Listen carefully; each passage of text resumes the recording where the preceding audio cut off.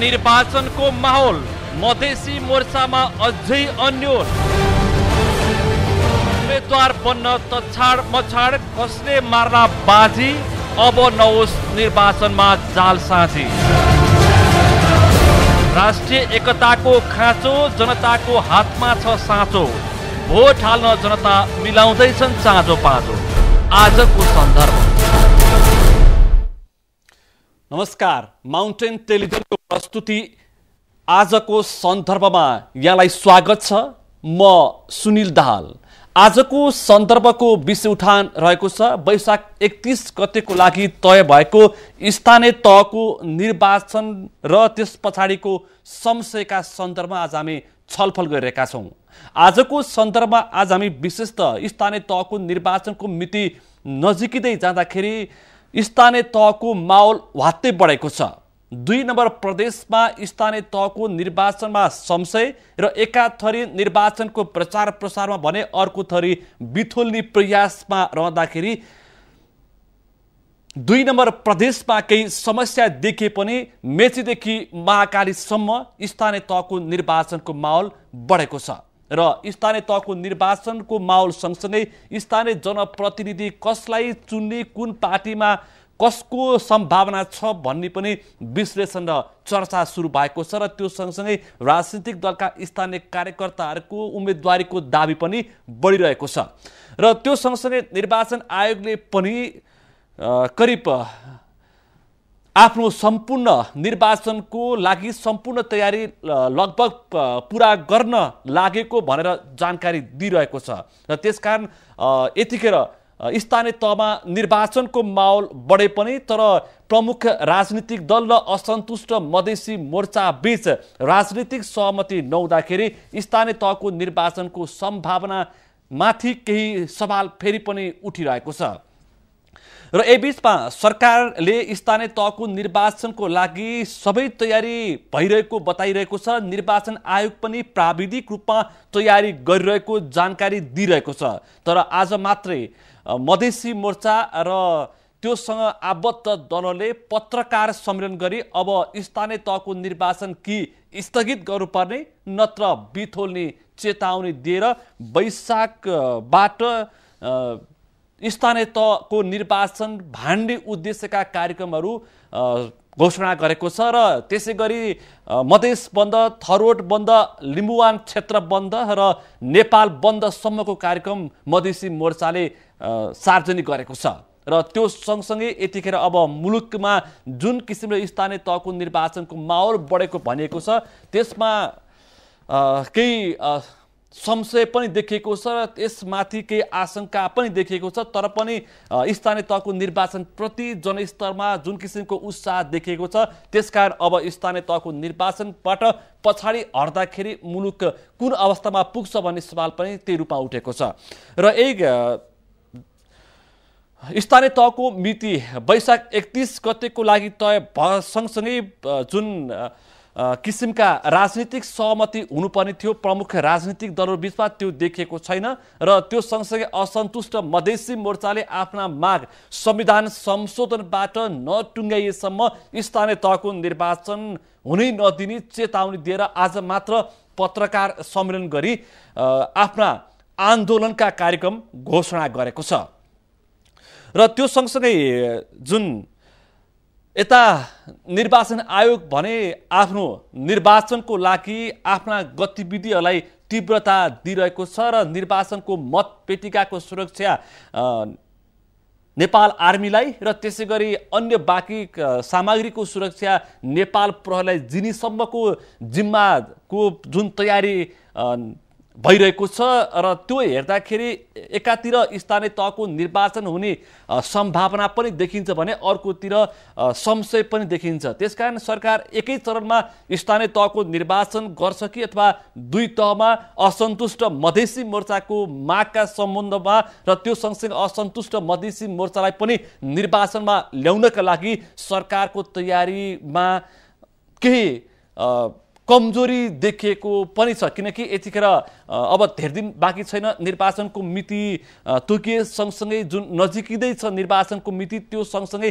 राजनीतिक सहमति जुटाएर निर्वाचनमा जानुपर्ने थियो। त्यो सँगसँगै अर्को अरू साना राजनीतिक दलहरू जो साना दलहरू छन् उनीहरूले पार्टीले चुनाव चिन्ह नपाएको भनेर उनीहरू फेरि आन्दोलनमा गएका छन् र उनीहरू सडक आन्दोलनमा छन्। एकातर्फ मधेसी मोर्चा निर्वाचन हुन नदिने र स्थगन गर्नुपर्ने या बिथोल्ने बताउँदै आएको छ भने अर्को नेकपा माओवादी के जो विप्लव माओवादी छ उसले कुनै पनि हालतमा स्थानीय तहको निर्वाचन हुन नदिने भनेर चेतावनी दिइसकेको अवस्था पनि छ। तर पनि जनतामा स्थानीय तहको निर्वाचनको सम्बन्धमा अत्यन्तै उत्सुकता छ र कस्तो खालको जनप्रतिनिधि चाहिन्छ अथवा कसलाई चुन्ने भनेर सानादेखि ठुला राजनीतिक दलहरूमा त्यो किसिमको बहस देखिएको छ र आफ्नो पकड क्षेत्रमा चुनावी माहौल निकै बढेको छ। त्यो सँगसँगै गाउँ टोल सहरका चोकहरूमा निर्वाचनका विषयमा सम्भावित उम्मेद्वार महानगरपालिकामा मेयर उपमेयर त्यसै गरी वडा सदस्य गाउँपालिका गाउँ प्रमुख वडा सदस्य को बन्ने भन्ने सवाल यतिखेर बढेको छ र राजनीतिक दल प्रमुख राजनीतिक दलदेखि साना दलहरूसम्ममा यतिखेर टिकटको लागि सम्भावित उम्मेद्वारहरू धाउने क्रम पनि बढेको छ। त्यसकारण झन्डै उन्नाइस वर्ष पछाडि स्थानीय तहको निर्वाचन हुँदैछ र उन्नाइस वर्ष पछाडि हुन लागेको स्थानीय तहको निर्वाचन पक्कै पनि दुई हजार चौन्न सालको भन्दा दुई हजार चौहत्तर सालको स्थानीय तहको निर्वाचन अत्यन्तै फरक छ किनकि हामी सङ्घीय प्रदेशमा गएका छौँ र सङ्घीयता अथवा हामी स्थानीय तह यतिखेर अत्यन्तै बलियो बनाएका छौँ। जो सिंहदरबारको काम कारवाही सिंहदरबारको प्रशासनिक कामदेखि लिएर धेरै जो सिंहदरबारमा केन्द्रित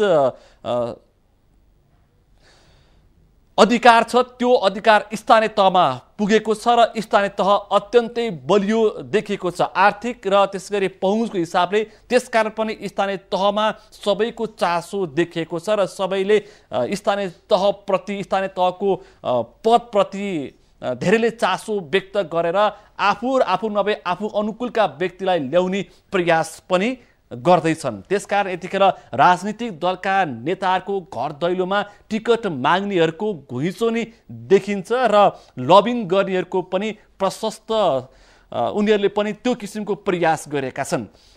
र त्यो सँगसँगै स्थानीय तहको निर्वाचनका सन्दर्भमा हामीले धेरै विषय प्रसङ्गहरूलाई प्रश्न पार्दै आएका छौँ किनकि यो सङ्घीय अथवा अहिलेको स्थानीय तह भनेको दुई हजार चौन्न सालको स्थानीय तह जस्तो होइन। यो अत्यन्तै बलियो र साङ्गठनिक रूपमा पनि सशक्त देखिन्छ र त्यो सँगसँगै यसको अधिकारको हिसाबले पनि यो सिंहदरबारको अधिकार विकेन्द्रीकरण भएर केन्द्रीकृत अधिकार यतिखेर गाउँ तहमा र गाउँ अथवा घर दैलोमा पुगेको छ र अब यो स्थानीय तहको अहिलेको संरचनामा स्थानीय तह बन्यो भनेदेखि गाउँ स्तरमा जुन किसिमको विकासका गतिविधिहरू हुनुपर्ने हो। त्यसले ठुलो सहयोग पुर्याउने र त्यो सँगसँगै जुन प्रशासनिक कामको लागि जुन जुन किसिमका झन्झटहरू थिए त्यसको अन्त्य हुने पनि देखिन्छ। र त्यो सँगसँगै अब यही बिचमा मधेसी मोर्चा भने यो किसिमको स्थानीय तहको अधिकारलाई उसले रुचाइरहेको छैन र उसले स्थानीय तह प्रदेश अन्तर्गत हुनुपर्छ भनेर त्यो प्रस्ताव गरिरहेको छ। र यो संविधानको संशोधन मार्फत त्यसलाई स्थानीय तहलाई भन्दा पनि प्रदेशलाई बलियो बनाउनु पर्ने र प्रदेश अन्तर्गत स्थानीय तह राख्नुपर्ने भनेर मधेसी मोर्चाले आफ्नो मागमा यी विषय समेट्नु पर्ने बताउँदै आएको छ र त्यसकारण अब प्रमुख राजनीतिक दल र मधेसी मोर्चाबीच यसको पनि केही समस्या देखिएको छ र स्थानीय तहको सन्दर्भमा र अहिले जुन किसिमको अवस्था छ समग्र रूपमा मेचीदेखि महाकालीसम्म निर्वाचनको माहौल बढेको छ। निर्वाचन आयोगको तयारी पनि त्यही अनुसार तीव्रता छ र त्यो सँगसँगै ठुला दलहरूमा टिकट माग्नेहरूको पनि घुइँचो लागेको छ र त्यो सँगसँगै काठमाडौँ महानगरपालिकादेखि लिएर साना जिल्लाहरूमा समेत अथवा साना प्रदेशहरूमा अथवा साना क्षेत्रमा समेत उम्मेदवारीको चर्चा र व्यक्तिको नाम उल्लेख हुन थालेको छ र त्यो सँगसँगै केन्द्र र पार्टीहरूमा आफ्नो पार्टीमा उम्मेदवारीको लबिङ गर्नेहरू पनि प्रशस्त देखिएका छन् र त्यो सँगसँगै निर्वाचनका कार्यक्रमहरू गाउँतिर देखिन थालेका छन् र सम्भावित उम्मेदवारहरू आफू अनुकूलको रिजल्ट ल्याउनको लागि प्रयासरत छन् र त्यो परीक्षामा उत्रिनको लागि उनीहरू क्रियाशील भएको देखिन्छ र त्यो सँगसँगै अहिले समग्र यी परिधिहरूलाई विश्लेषण गर्ने हो भने स्थानीय तहको निर्वाचनको अपरिहार्यता देखिन्छ। किनकि स्थानीय तह बलियो हुनु भनेको सुशासन पनि बलियो हुनु हो र जनताले घर दैलोमा नै आफ्नो अधिकार सुनिश्चित भएको र अधिकार आइपुगेको महसुस हुन्छ अहिलेको स्थानीय तहबाट जुन कि जिल्ला केन्द्रमा जुन किसिमका अधिकारहरू थियो त्यो अब जनताको घर दैलोमा पुग्दैछ। आज हामी यिनै विषयवस्तुमा केन्द्रित भएर छलफल गर्नेछौँ किनकि वैशाख पाँच गतेदेखि एकतिस गतेका लागि प्रदर्शन घेराउ र हडताल जस्ता कार्यक्रम गर्ने निर्णय गरे पनि गठबन्धन अझै पनि ऊ भित्री रूपमा केही आफू सेफ ल्यान्डिङ हुने र आफ्ना मागहरू केही सम्भावित आफ्ना मागहरूलाई अथवा त्यसलाई सम्बोधन गरियो भने निर्वाचनमा जाने मधेसी मोर्चाको पनि मनस्थिति देखिन्छ। तर मधेसी मोर्चा सेफ ल्यान्डिङ हुन नसक्दाखेरि ऊ कुन एजेन्डा बोकेर निर्वाचनमा जाने भन्नेमा उसलाई सकस देखिएको छ। र त्यो सँगसँगै आन्दोलनका कार्यक्रमहरू जसरी मधेसी मोर्चाले सार्वजनिक गरेको छ र त्यो सँगसँगै मधेसी मोर्चाले जिल्ला तहमा अथवा हरेक क्षेत्रमा आफ्नो निर्वाचन आयोगमा आफ्नो दल दर्ता गरेको छ र त्यो सँगसँगै मतदाता नामावली थप्नुको लागि पनि उसले नयाँ माग थपेको छ भने स्थानीय पुनर्संरचना आयोगको प्रतिवेदनलाई पनि संशोधन गर्नुपर्ने र त्यसको केही त्यसलाई त त्यसलाई केही विस्तार गर्नुपर्ने र सङ्ख्या जनसङ्ख्याको आधारमा प्रतित्वको सभालाई पनि बढाउनु पर्ने बताउँदै आएको छ। यो हेर्दाखेरि मधेसी मोर्चा पनि निर्वाचनको पक्षमा देखिन्छ तर उसलाई सेफ ल्यान्डिङ गर्न अत्यन्तै सकस देखिएको छ। आज हामी यिनी विषय प्रसङ्ग र जुन सत्ता नेतृत्वकर्ता माओवादी केन्द्रका नेता नारायण काई श्रेष्ठले मोर्चा र गठबन्धनकै माग सम्बोधनका लागि नयाँ विधेयक अघि सारिए पनि जुन मधेसी मोर्चाले यो विधेयकलाई अस्वीकार गर्नु भनेको यो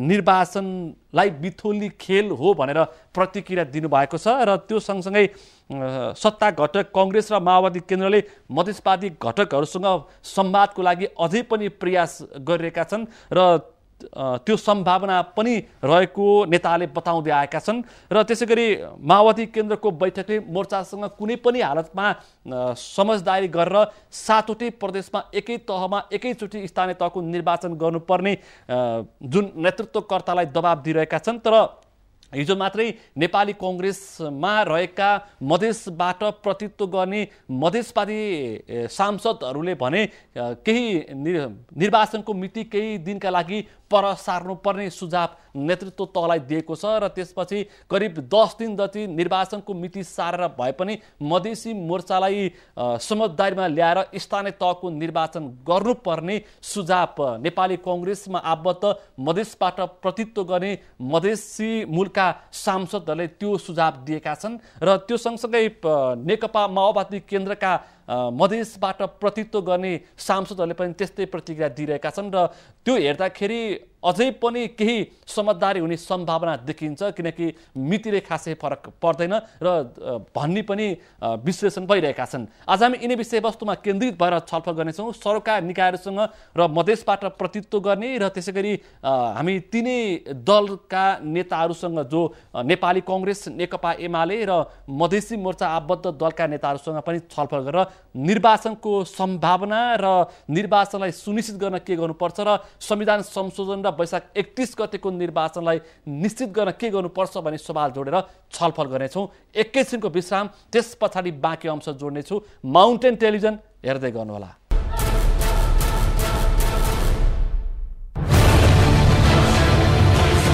निर्वाचनको माहौल मधेसी मोर्चामा अझै अन्यल। उम्मेद्वार बन्न तछाड मछाड कसले मार्ला बाजी अब नहोस् निर्वाचनमा जाल साझी। राष्ट्रिय एकताको खाँचो जनताको हातमा छ साँचो। भोट हाल्न जनता मिलाउँदैछन् चाँजो पाँचो। आजको सन्दर्भ।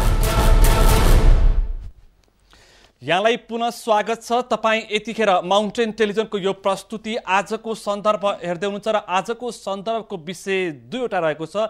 वैशाख एकतिस गतेको स्थानीय तहको निर्वाचन र त्यस पछाडि आज मात्रै भर्खरै मधेसी मोर्चाले पत्रकार सम्मेलन गरी आन्दोलनको कार्यक्रम घोषणा गरे पछाडि अब स्थानीय तहको निर्वाचनप्रतिकै संशय देखिएको छ। र हिजो मात्र नेपाली कङ्ग्रेस आबद्ध मधेसबाट प्रतित्व गर्ने सांसदहरूले निर्वाचनको मिति सार्न केही सुझाव दिए पछाडि दुई नम्बर प्रदेशमा स्थानीय तहको निर्वाचनको सम्भावना कस्तो रहन्छ र त्यो सँगसँगै निर्वाचन आएको तीव्रता तर राजनीतिक सहमतिमा नजिकता हुन नसक्दाखेरि अब निर्वाचन वैशाख एकतिस गतेको मिति जति नजिकै राजनीतिक रूपमा पेचिलो पनि त्यत्तिकै बन्दै गएको छ। त्यसकारण राजनीतिक रूपमा सहमतिको लागि कति आवश्यक छ र सम्भावनाहरू के कति छन् र भित्री रूपमा मधेसी मोर्चा र सरकार बिचको केही वार्ता भएको छ कि छैन र सम्भावना के छन्? यिनी विषयवस्तुमा आज हामी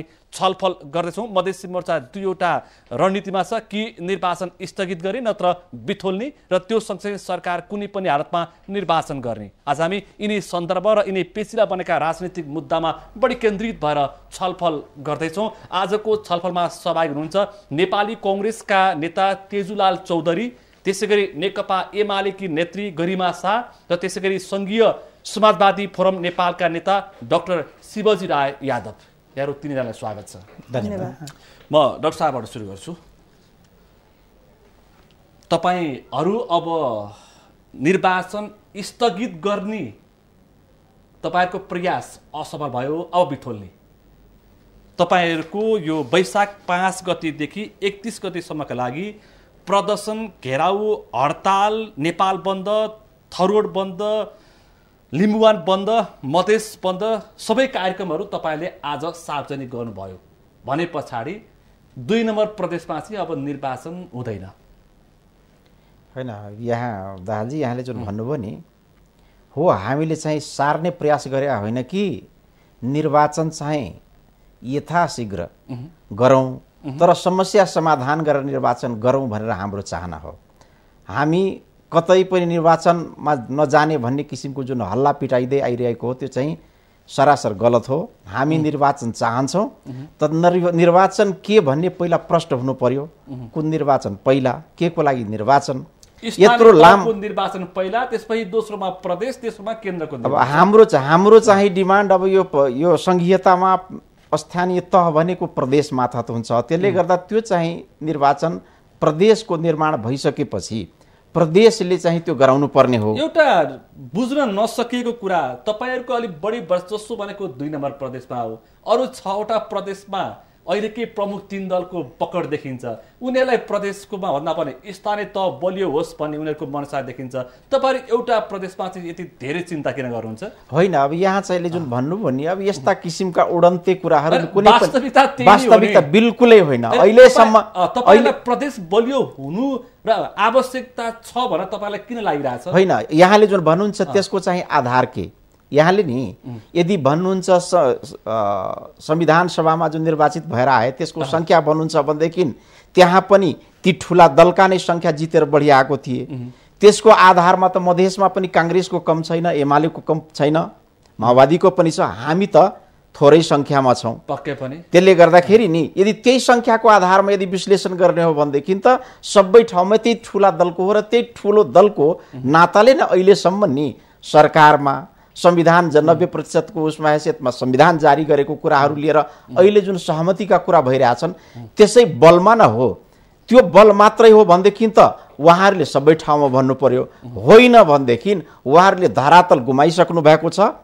अहिलेको निर्वाचनको विरुद्धमा मधेसमा मात्रै होइन आदिवासी जनजाति पहाडमा पनि छन् नि हिमालमा पनि छन् हिमाली पहाडी मधेसी सबै ठाउँमा यो संविधान सभामा जुन किसिमको उहाँहरूको मुद्दा सम्बोधन भएन र सङ्घीयताको मूल मर्म जुन छ त्यसैले कुठाराघात गरियो।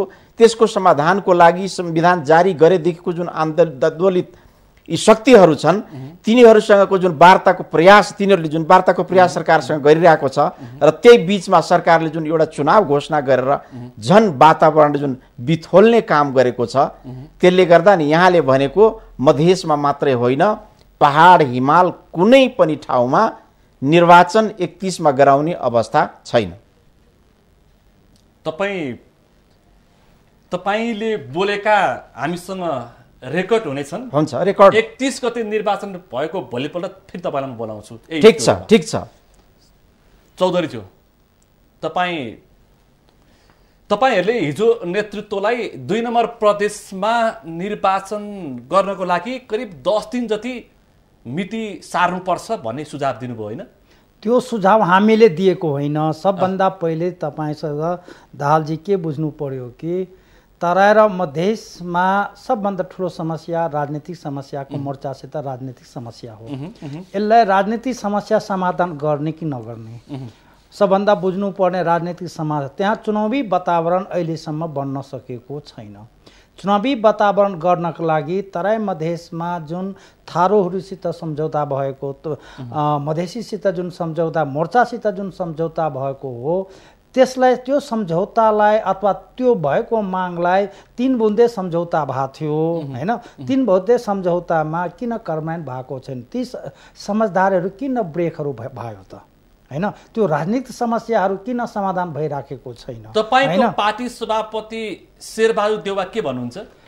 शेरबहादुर देउल हाम्रो पार्टीका सभापतिले हामीले तराई मधेसबाट दुई नम्बर प्रदेशबाट दोस्रो चरणमा शेरबहादुर देउवा भनेर मधेसी मोर्चालाई केपी ओली हटाएर मधेसी मोर्चालाई साथमा बोकेर सरकार बनाएको होइन? त्यो पक्कै पनि? त्यो सरकार बनाइसकेपछि तिन बुधे सहमति भएकै हो नि। हटिसकेपछि तिन बुधे सम्झ सम्झौता भयो सहमति भयो सम्झौता नभनौँ सहमति भयो। त्यो सम् सम्झौतामा त्यो सहमतिमा ठिक छ सीमाङ्कनको थियो विभिन्न कुराहरू थियो। जस्तै मोर्चाहरूबाट आन्दोलन भएको थियो थारूहरूबाट आन्दोलन भएको थियो त्यो मोर्चामा नेपाली काङ्ग्रेस पनि के अरे मोर्चाको तराई मधेसमा त नेपाली काङ्ग्रेसको साथीहरू पनि छ। थारूहरूमा नेपाली काङ्ग्रेसको साथीहरू पनि आन्दोलन गरेको थियो। त्यहाँ अहिलेसम्म उनीहरूको थुनुमामा छ। अहिलेसम्मको उनीहरूको घटनाहरूलाई कुनै किसिमको सरकारले सम्बोधन गर्न सकेन। कुनै किसिमको छोड्ने कामहरू भएन। अहिले पनि जुन किसिमको व्यवहार गरिराखेको छ।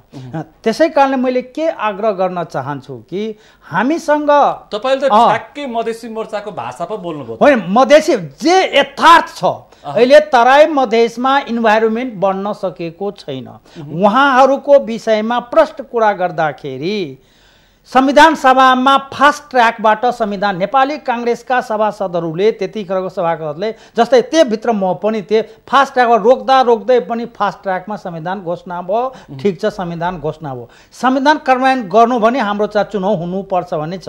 तर समस्या समाधान गरेर चुनाव गरौँ भने हाम्रो मान्यता हो। तपाईँ त्यसो भन्नुहुन्छ तपाईँको पार्टी सभापति तपाईँका नेता महामन्त्रीमा नगरपालिकाको प्रमुख गाउँपालिकाको प्रमुखको लागि टिकट लिनको लागि दौडधुप गर्नेहरूको घुइँचो छ।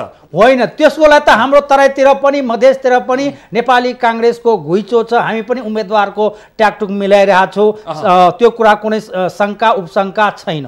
तर इन्भाइरोमेन्ट बन्न सकेको छैन। जुन किसिमको अहिले तराईमा हुनुपर्ने चुनावी वातावरण त्यो भित्रभित्र कुराहरू भेटघाट नभएको होइन। त्यसै। कारणले तपाईँसित म छ, के आग्रह गर्न तपाईँहरूको चाहन्छु। हिजोको छलफल पनि म विषय उठान गर्छु। शाहज्यू हजुर।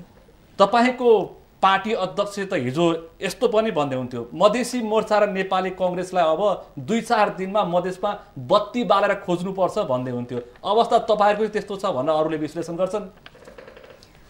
म यहाँलाई के अनुरोध गर्न चाहन्छु भने हामीले धेरै मेहनत धेरै प्रयासपछि हामीले संविधान जारी। हो। संविधान जारी गर्दाखेरि सङ्घीयताको के सिद्धान्तलाई हामीले अवलम्बन गर्यौँ भन्दा नेपालमा ती तिन तहको सरकार रहने तिन तहको व्यवस्थापिका रहने भन्ने सिद्धान्तबाट हामीले संविधान निर्माण। गर्यौँ विश्वमा सङ्घीयता दुई प्रकारका छन्। एउटा अधिकार केन्द्र र प्रदेशमा विभाजित गरिएको दुई तहको एउटा चाहिँ सङ्घीयता छ र अर्को भनेको तिन तहको सङ्घीयता छ। केन्द्र प्रदेश र स्थानीय। र हामीले नेपालमा चाहिँ अहिलेसम्म चाहिँ केन्द्रीकृत शासन व्यवस्था भएको कारणले गर्दा हरेक कुराको लागि काठमाडौँ आउनै पर्ने जुन बाध्यतात्मक अवस्था छ यसलाई अन्त्य गर्नको लागि कस्तो शासन व्यवस्था हाम्रो लागि अपरिहार्य छ त भनेर हामीले संविधान निर्माण गर्दाखेरि व्यापक बहस छलफल गऱ्यौँ। र हामीलाई के लाग्यो भन्दाखेरि जबसम्म हामी सम्पूर्ण अधिकारहरू तल स्थानीय तहमा जबसम्म हामी दिँदैनौँ तबसम्म काठमाडौँ धाउने प्रवृत्ति अन्त्य हुन सक्दैन। त्यसो भएको कारणले तिन तहको हामीले गर्ने कुरा भन्यौँ। उठाउनु भयो होइन? तर स्थानीय तहलाई नेतृत्व दुई हजार चौन्नमा पनि केन्द्रले गरेको थियो अब दुई हजार चौहत्तरमा पनि केन्द्रले गर्ने। अहिले नयाँ संरचनामा हामी जाँदैछौँ गएका छौँ हो म यहीँ आइरहेको अनि थिएँ प्रदेशलाई म यी तपाईँको- प्रदेशलाई कमजोर र अपाङ्ग बनाएर अनि स्थानीय तहलाई केन्द्रसँग जोडे पछाडि प्रदेशमा जानुको अर्थ के रहन्छ? तपाईँको प्रश्नमै आइरहेको थिएँ म चाहिँ। हामीले कस्तो खालको सङ्घीयताको मोडललाई अप्नायौँ त भन्दा तिन तहको सङ्घीयताको मोडललाई अप्नायौँ। तिनटै तह स्वतन्त्र हुन्छन् होइन? आफ्नो मतलब चाहिँ अधिकार चाहिँ एक्सर्साइज गर्नको लागि तिनटै तह स्वतन्त्र हुन्छन्। त्यसो भएको कारणले नै मतलब चाहिँ अहिलेको जुन निर्वाचन आयोग हो त्यसले निर्वाचन गराउने हो। यदि दुई तहको निर्वाचन हुन्थ्यो दुई तहको सङ्घीयता हुन्थ्यो भने त्यति बेला प्रदेशको मातहतमा चाहिँ स्थानीय तहको निर्वाचन हुनुपर्ने हो। तर हामीले त तिन तहको सङ्घीयताको मोडललाई हामीले चाहिँ लिइसकेपछि अप्नाइसकेपछि त्यो त जुन अहिलेको निर्वाचन आयोग छ त्यसले निर्वाचन गराउन पाउँछ उसैले हो निर्वाचन गराउने। तब न ऊ तिनवटा तह स्वतन्त्र हुन्छन् उनीहरू आफ्नो अधिकार एक्सर्साइज गर्न पाउँछन्। एउटा तह कुनै तहको स्वतन्त्र हुन सक्दैन नि। अलिक भ्रम छ। म सिन्धुलीको मेरो सुनकोशी अ, नग गाउँपालिका। अब तिन नम्बर प्रदेशमा मलाई तिन नम्बर प्रदेशले नेतृत्व गर्छ कि यो त केन्द्र सरकार नै पर्छ केन्द्र सरकारले? केन्द्र सरकारले पनि नेतृत्व गर्दैन। यो तिन नम्बर प्रदेशले पनि नेतृत्व गर्दैन त्यहाँको स्थानीय तहले नै नेतृत्व गर्छ। मैले अघि भने नि हामीसँग तिन तहको व्यवस्थापिका हुन्छ? हामीसँग तिन तहको उस- उसको उसको काम चाहिँ के त?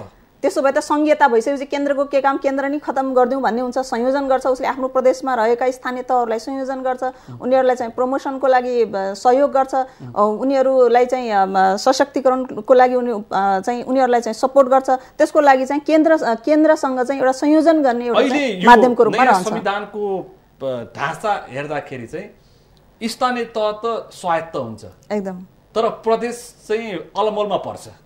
त्यस्तो छैन। तपाईँ यहाँलाई म भनौँ मैले भने विश्वका सङ्घीयताको मोडललाई हामीले हेऱ्यौँ भने साउथ अफ्रिकाको जुन सङ्घीयता छ यही मोडलको तिन तहको सङ्घीयता छ त्यहाँ चाहिँ होइन? जब जनतालाई अधिकार सम्पन्न बनाउने कुरा गर्दैछौँ जब जनतालाई हामी सार्वभौम बनाउने कुरा गर्दैछौँ जब सबै अधिकारहरू जनताको जनतामा निहित गराउने कुरा हामी गर्दैछौँ भने के शब्दमा मात्रै गर्ने व्यवहारमा नगर्ने? व्यवहारमा गर्ने हो भने स्थानीय तहलाई त हामीले स्वायत्त बनाउनै पर्छ स्थानीय तहलाई हामीले बलियो बनाउनै पर्छ निर्णायक बनाउनै पर्छ।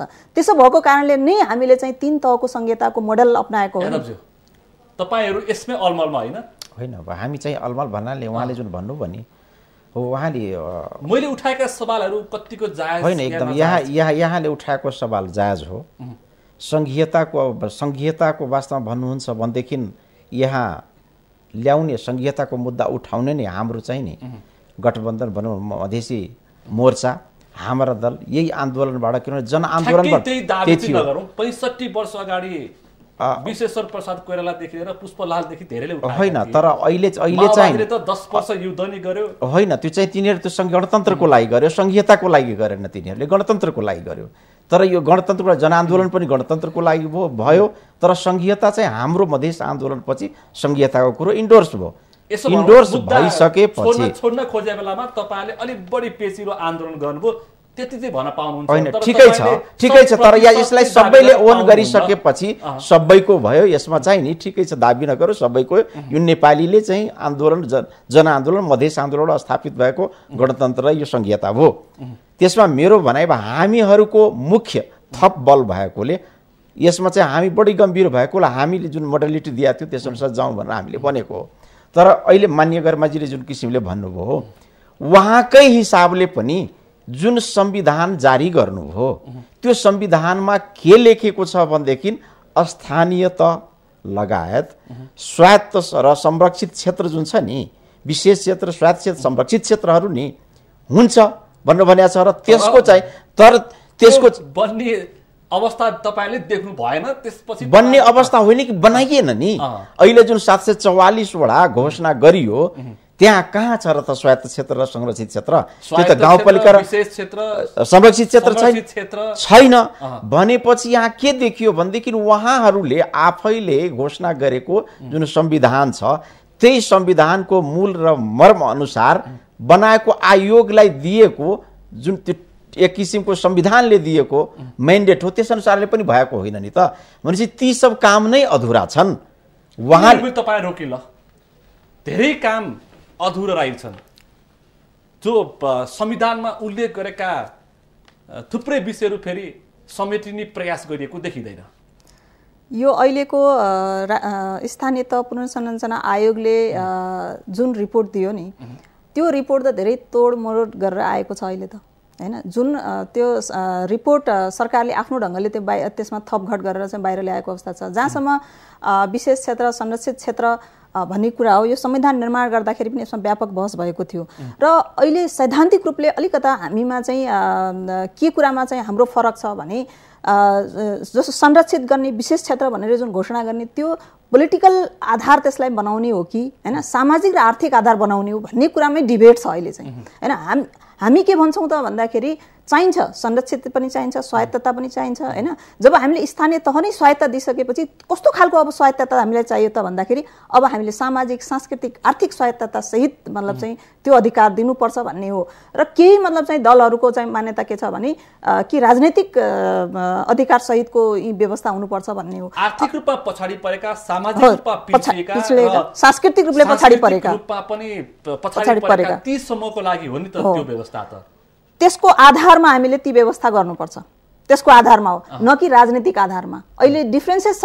राजनीतिक आधार तय गरिनुपर्छ भन्ने एउटा जबरजस्त माग छ भने अर्को भनेको अब हामीले जब राजनीतिक अधिकारहरू तल्लो तहसम्म हामीले ल्याइसक्यौँ भने अब अब हामीले गर्ने के हो त? जनताको मतलब समृद्धिको लागि गर्ने के हो त भन्दा आर्थिक रूपले सामाजिक रूपले सांस्कृतिक रूपले पछाडि परेको समुदायलाई माथि उठाउनुको लागि त्यस्तो विशेष व्यवस्था चाहिँ त्यो गर्नुपर्छ भन्ने हाम्रो हो। यसमा पनि अझै डिबेट छ। खैर एकैछिनको विश्रामपछि आउँछु। अनि त्यसपछि तपाईँहरूसँग संविधानका कमजोरी तपाईँले देखेका तपाईँले देखेका सबै विषयमा म धारा धारा नै केलाउने प्रयास गर्नेछु र स्थानीय तहको निर्वाचनको सम्भावना पनि म तपाईँहरूसँग खोज्नेछु। एकैछिनको विश्रामपछि आउनेछु। तपाईँ यतिखेर माउन्टेन टेलिभिजनको यो प्रस्तुति आजको सन्दर्भ हेर्दै हुन्छ। सन्दर्भमा छोटो विश्राम त्यस पछाडि बाँकी अंश जोड्नेछु। माउन्टेन टेलिभिजन हेर्दै गर्नुहोला।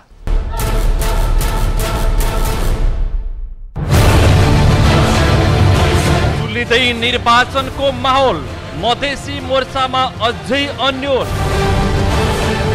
उम्मेद्वार बन्न तछाड मछाड कसले मार्ला बाजी अब नहोस् निर्वाचनमा जाल साझी।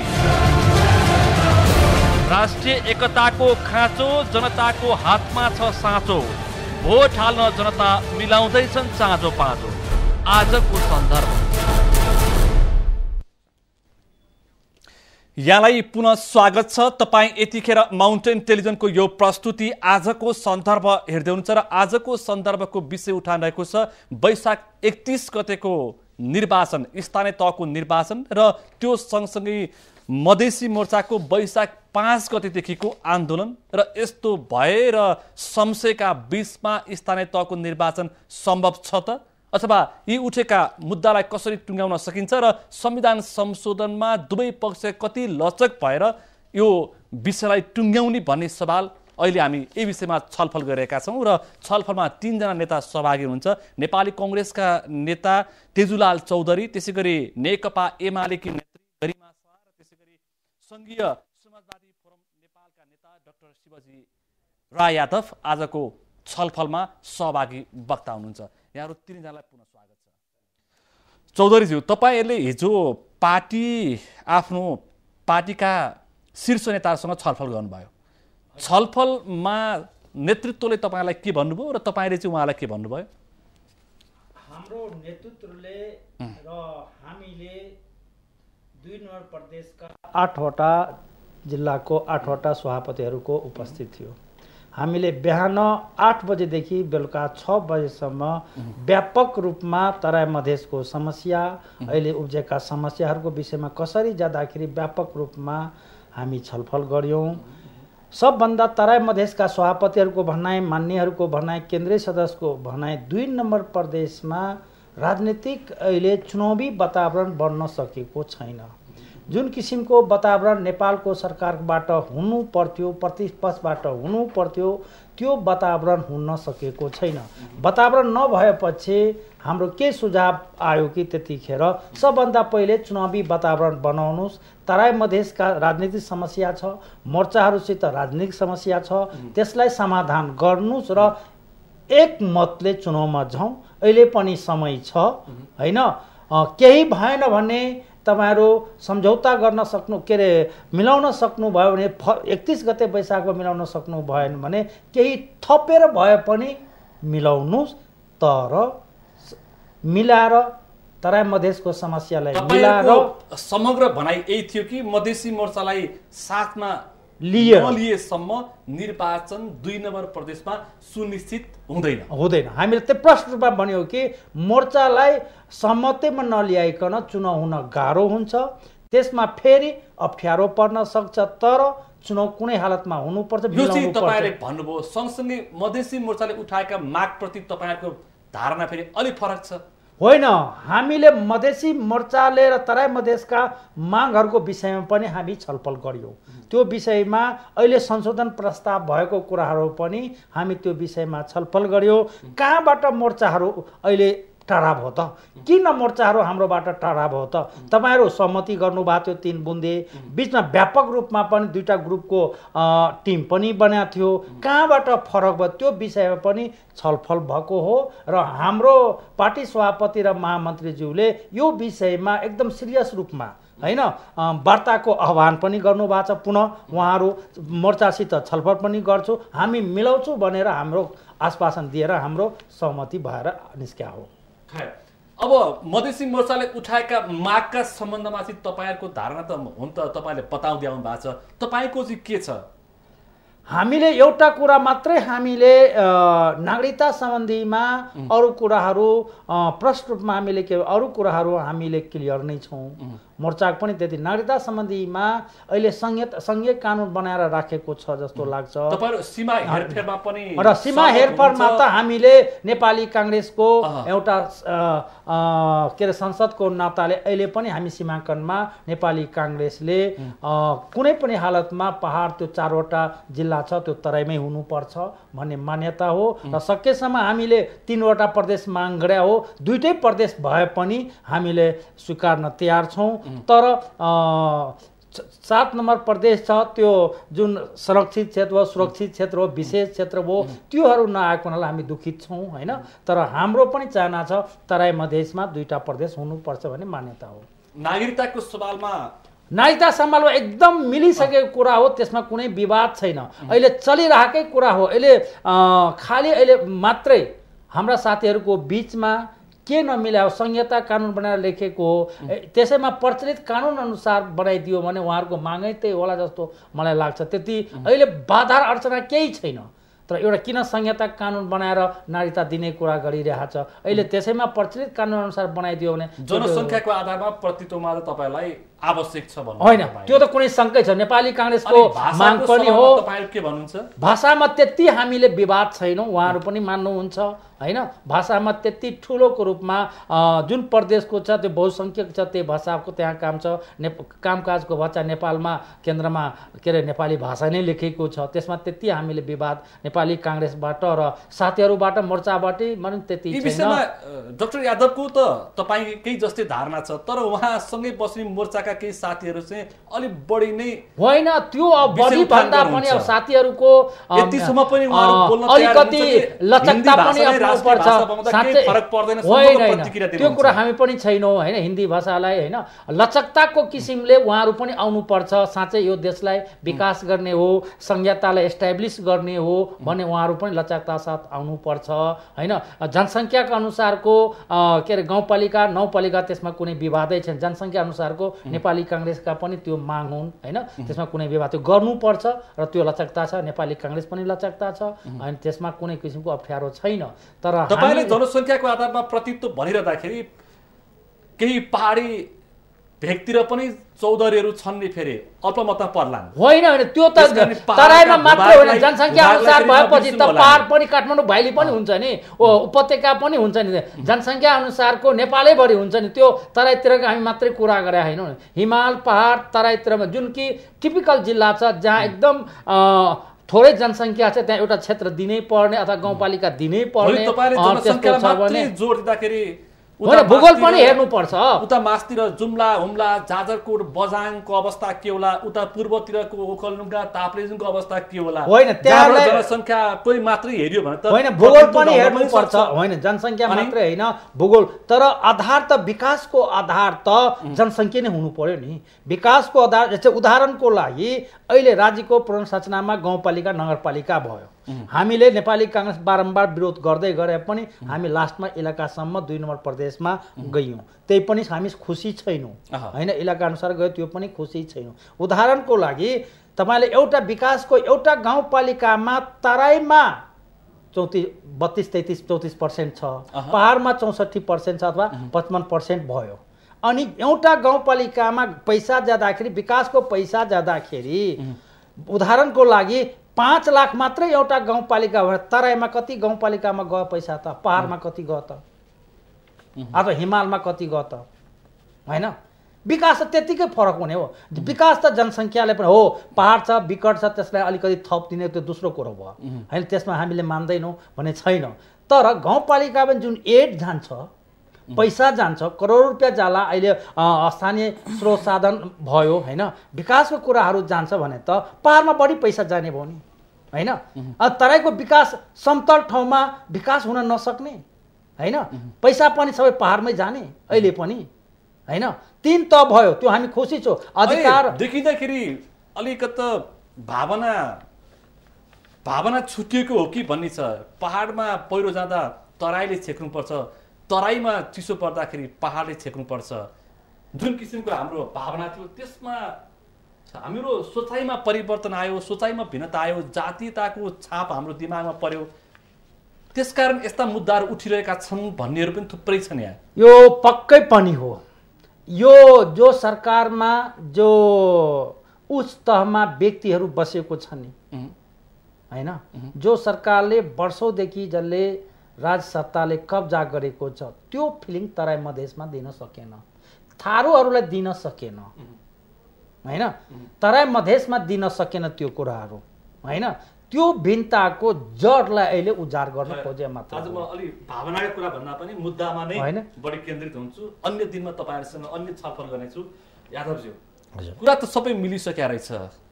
चौधरीज्यूले प्रश्नै भन्नुभयो अब खास नमिल्ने कुरा केही पनि छैन। होइन उहाँले नागरिकतामा समस्या छ न भाषामा छ जन जनसङ्ख्या आधारमा प्रतित्व छ न सीमा हेरफेरमा छ। होइन यहाँले चाहिँ चौधरीजीले नि बिल्कुल उहाँले जे भन्नुभयो धेरै कुरो सत्य भन्नुभयो। उहाँले नि सबै कुरो मिलिसक्यो भनेर भन्नु भएन कि मिल्ने मिल्ने नि। मिल्न सक्ने छ यी सब कुरामा मिल्ने आधारहरू छन् थोरैको फरक छ मिल्छ त्यहाँ चाहिँ फरक छैन। तर समस्या जहाँ छ सीमाङ्कनको कुरो त्यो त उहाँले पनि भन्नुभयो। प्रदेश बनाउँदाखेरि त्यो सीमाङ्कनको कुरो अहिलेको जुन संशोधन प्रस्तावमा आएको छ त्यो पहिलाको संशोधन प्रस्तावमा एउटा किटानका साथ थियो उहाँले नै भन्नुभयो नि आन्दोलन गर्दाखेरि पहाडमा दुईजना मर्दाखेरि ठ्याक्क त्यसअनुसारले सम्बोधन हुने। मधेसमा दर्जनौ सत्तरीजना साठी सत्तरीजना मरिसक्दा पनि अहिलेसम्म त्यो सुनवाई नहुने। यो के हो? यो विभेद भन्ने कुरो नि मलाई आज बडा खुसी लागेको छ। काङ्ग्रेसको सांसदकै मुखबाट नि यस्ता किसिमको कुराहरू सुन्न पाइएको छ। भनेपछि त कुरो चाहिँ प्रश्न के बुझियो भनेदेखि दलहरूले पनि संविधान सभामा चुनिएर आएका आफ्नै सांसदको पनि भावना बुझेको रहेछ नि त। भनेपछि अहिलेसम्म नेतृत्वले पेलेर जुन किसिमले अगाडि लग्दै हुनुहुन्छ त्यसैको प्रतिफलमा उहाँले जुन भन्नुभयो नि हिजो दुई नम्बर प्रदेशका सांसदहरूले जुन किसिमले दबाब दिए देउबाजीलाई र त्यो दबाबको आज जुन प्रतिक्रिया आइरहेको छ त्यसले म विश्वस्त छु। अहिलेको जुन समस्या छ र हाम्रो पनि आन्दोलन घोषणा भइसकेको अवस्था सरकार चाहिँ लाई सरकार त म त के विश्वस्त छु भने जति पटक अनौपचारिक कुराहरू भएको छ त्यहाँ मैले प्रचण्डजीलाई लचक पाएको छु। तर उहाँसँग बाध्यता छ। उहाँ काङ्ग्रेसको बलमा सत्तामा टिक्नु भएको छ। उहाँले तिन बुधे साथ साथ तिन बुधे त हामी तिनैजनाको उसमा भएको थियो। तर तिन बुधे बाहेक काङ्ग्रेस र उहाँको बिचमा पनि त केही सहमति भएको थियो नि। त्यो सहमतिको आधारमा उहाँले आफ्नो धरातल घुमाउँदै जानुभएको छ। आफू बिचमा पनि हामीसँग त गुमाइसकेपछि हामी समर्थन नै फिर्ता लिइसक्यौँ। हामी आन्दोलनमा भइसक्यौँ। तर निर्वाचनको लागि जुन डुङ्गामा उहाँ बस्नु भएको छ जोसँग सहमति भएको छ त्यसैको पनि विश्वास उहाँ गुमाइसक्नु भएको हो। नत्र भनेदेखि उहाँको सहमति अनुसार त चैतभित्रमा गरेर हस्तान्तरण गर्नुपर्ने थियो नि देउबाजीले काङ्ग्रेसलाई। काङ्ग्रेसलाई त्यो चाहिँ समयमा पुरा नहुने देखेपछि र अर्को किसिमको अवस्था सृजना हुने शङ्का देखेपछि उहाँले वैशाखसम्मको टाइम दिनुभयो एकतिससम्म वैशाखमा गराउँछु भनेर उतातिर भन्ने जसरी पनि वैशाखमा गराएर तपाईँलाई हस्तान्तरण गरिदिन्छु।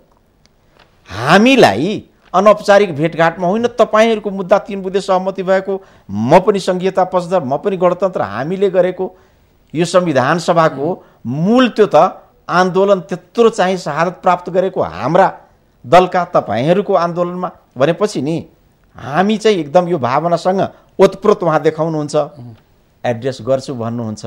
फेरि काङ्ग्रेसको दबावमा उहाँले नि यो पछिल्लो पटक सरकार र मधेसी मोर्चाको कुरा ठ्याक्कै कहाँनिर नमिलेको? पछिल्लो चोटि अहिले जुन वातावरण अनौपचारिक भेटघाटमा कुराकानी मिल्दै आइरह त्यो अलि मिल्ने मिल्ने उसमा आइरहेको थियो त्यसमा सीमाङ्कनमा एमाले रिजिड र सीमाङ्कन मात्रै नभइकन सीमाङ्कन अहिलेको संशोधनबाट पास गर्नलाई संविधान नै बाधक हो भनेर एमालेको जिकिर थियो। त्यो दुई सय चौहत्तर अनुसार जबसम्म प्रदेश सभा बन्दैन तबसम्म यो सीमाङ्कनको संशोधन नै ल्याउन पाउँदैन भने उहाँको जिकिर थियो। त्यो उहाँहरूको हिसाबले यदि भन्ने हो भने नब्बे प्रतिशत धेरै पर पुगिसकेका छ। होइन। त्यो पर पुगे छैन। यहाँले भनेको कुरो नि हो ती समस्या कहाँ थियो भनेदेखि हो ती थियो भनेपछि त्यसलाई सम्बोधन गर्नलाई पास गराउनलाई दुई तिहाई चाहिने। दुई तिहाईमा एमालेलाई पनि सहमत गराउनु पर्ने त्यसको लागि उहाँहरूको जिकिर जुन थियो त्यसको लागि दुई सय चौहत्तरलाई संशोधन गरेपछि अहिलेको लागि मात्रै होइन अगाडिको लागि पनि जुन बाधक कुराहरू हो त्यसमा केही त्रुटि कमी कमजोरी हो त्यो सबै सचिने भएपछि हामीले फेरि त्यसमा पनि सुझाव दियौँ। दुई सय चौहत्तरलाई पनि संशोधन गरेर ल्याउनुहोस्। त्यसपछि त्यो बाटो पनि फुक्छ। त्यसरी बाटो त फुकियो नि। दुई सय चौहत्तरलाई राखेपछि तर दुई सय चौहत्तर त ल्याउनु भयो ल्याउनु भयो।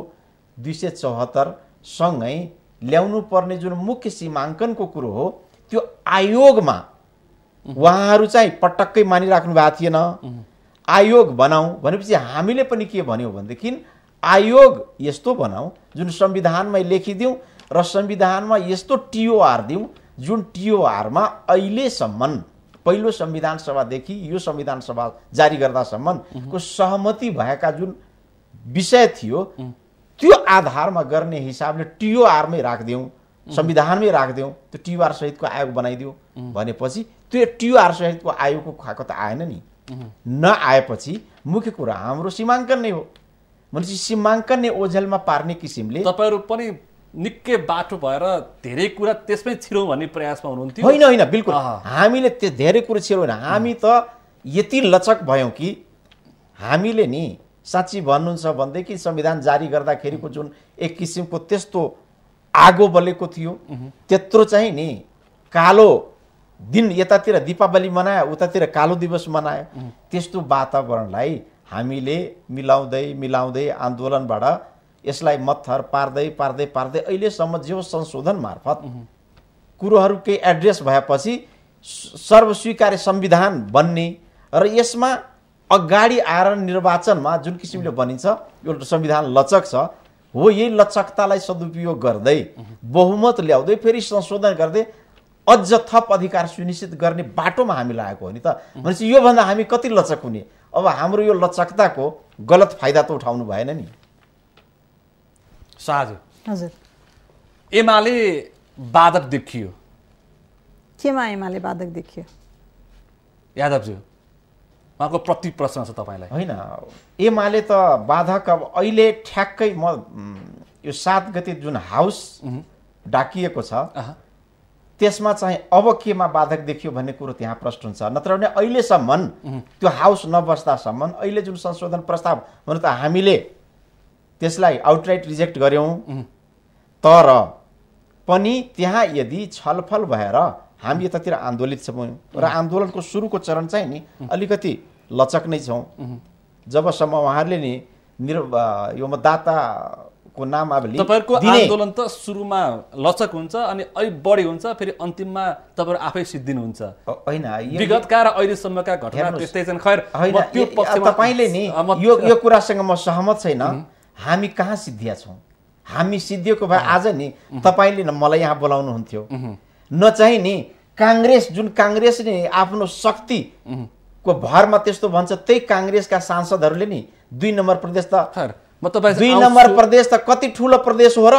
तर त्यसैको उसमा चाहिँ किन आज काङ्ग्रेस नि हच्किँदैछ? किन काङ्ग्रेस नि फेरि पनि सहमति गर्ने अवस्थामा पुग्दैछ? भनेपछि नि त्यो शक्ति कसको हो त। त्यहाँका सांसदहरूले काङ्ग्रेसका। सांसदहरूले नि त्यो यो क्षेत्रको आउँछु। अब मधेसी मोर्चालाई छोडेर निर्वाचनमा जाँदाखेरि अब आन्दोलनको कार्यक्रम पनि घोषणा भइरहेछ। दोहोरो मुठभेड हुने सम्भावना देखिन्छ। भनेपछि एमाले पनि एउटा मध्यस्थकारी भूमिका खेल्न सक्दैन? एमाले यो मुलुकको जिम्मेवार पार्टी हो।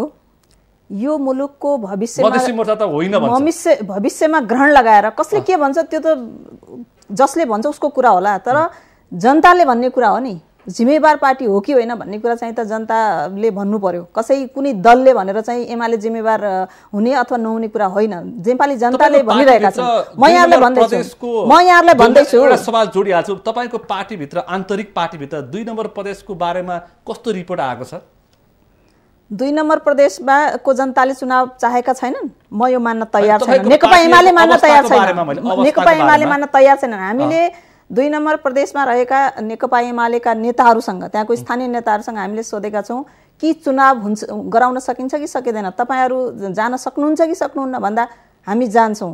अप्ठ्यारो अवश्य हुन्छ। किन एउटा शक्तिले चाहिँ त्यसलाई बिथल्न खोज्दाखेरि अप्ठ्यारो अवश्य हुन्छ। किन भन्दा बिगार्न त सजिलो छ नि। बनाउन पो गाह्रो छ। बिगार्नको लागि त सानो शक्ति भए पनि हुन्छ। बिगार्न सानो शक्तिले पनि सक्ने हुँदा अप्ठ्यारो अवश्य पनि छ। तर यी अप्ठ्याराहरूलाई पार गरेर हामी जान सक्षम छौँ भनेर नेकपा एमालेका स्थानीय नेताहरूले भनिरहनु भएको छ।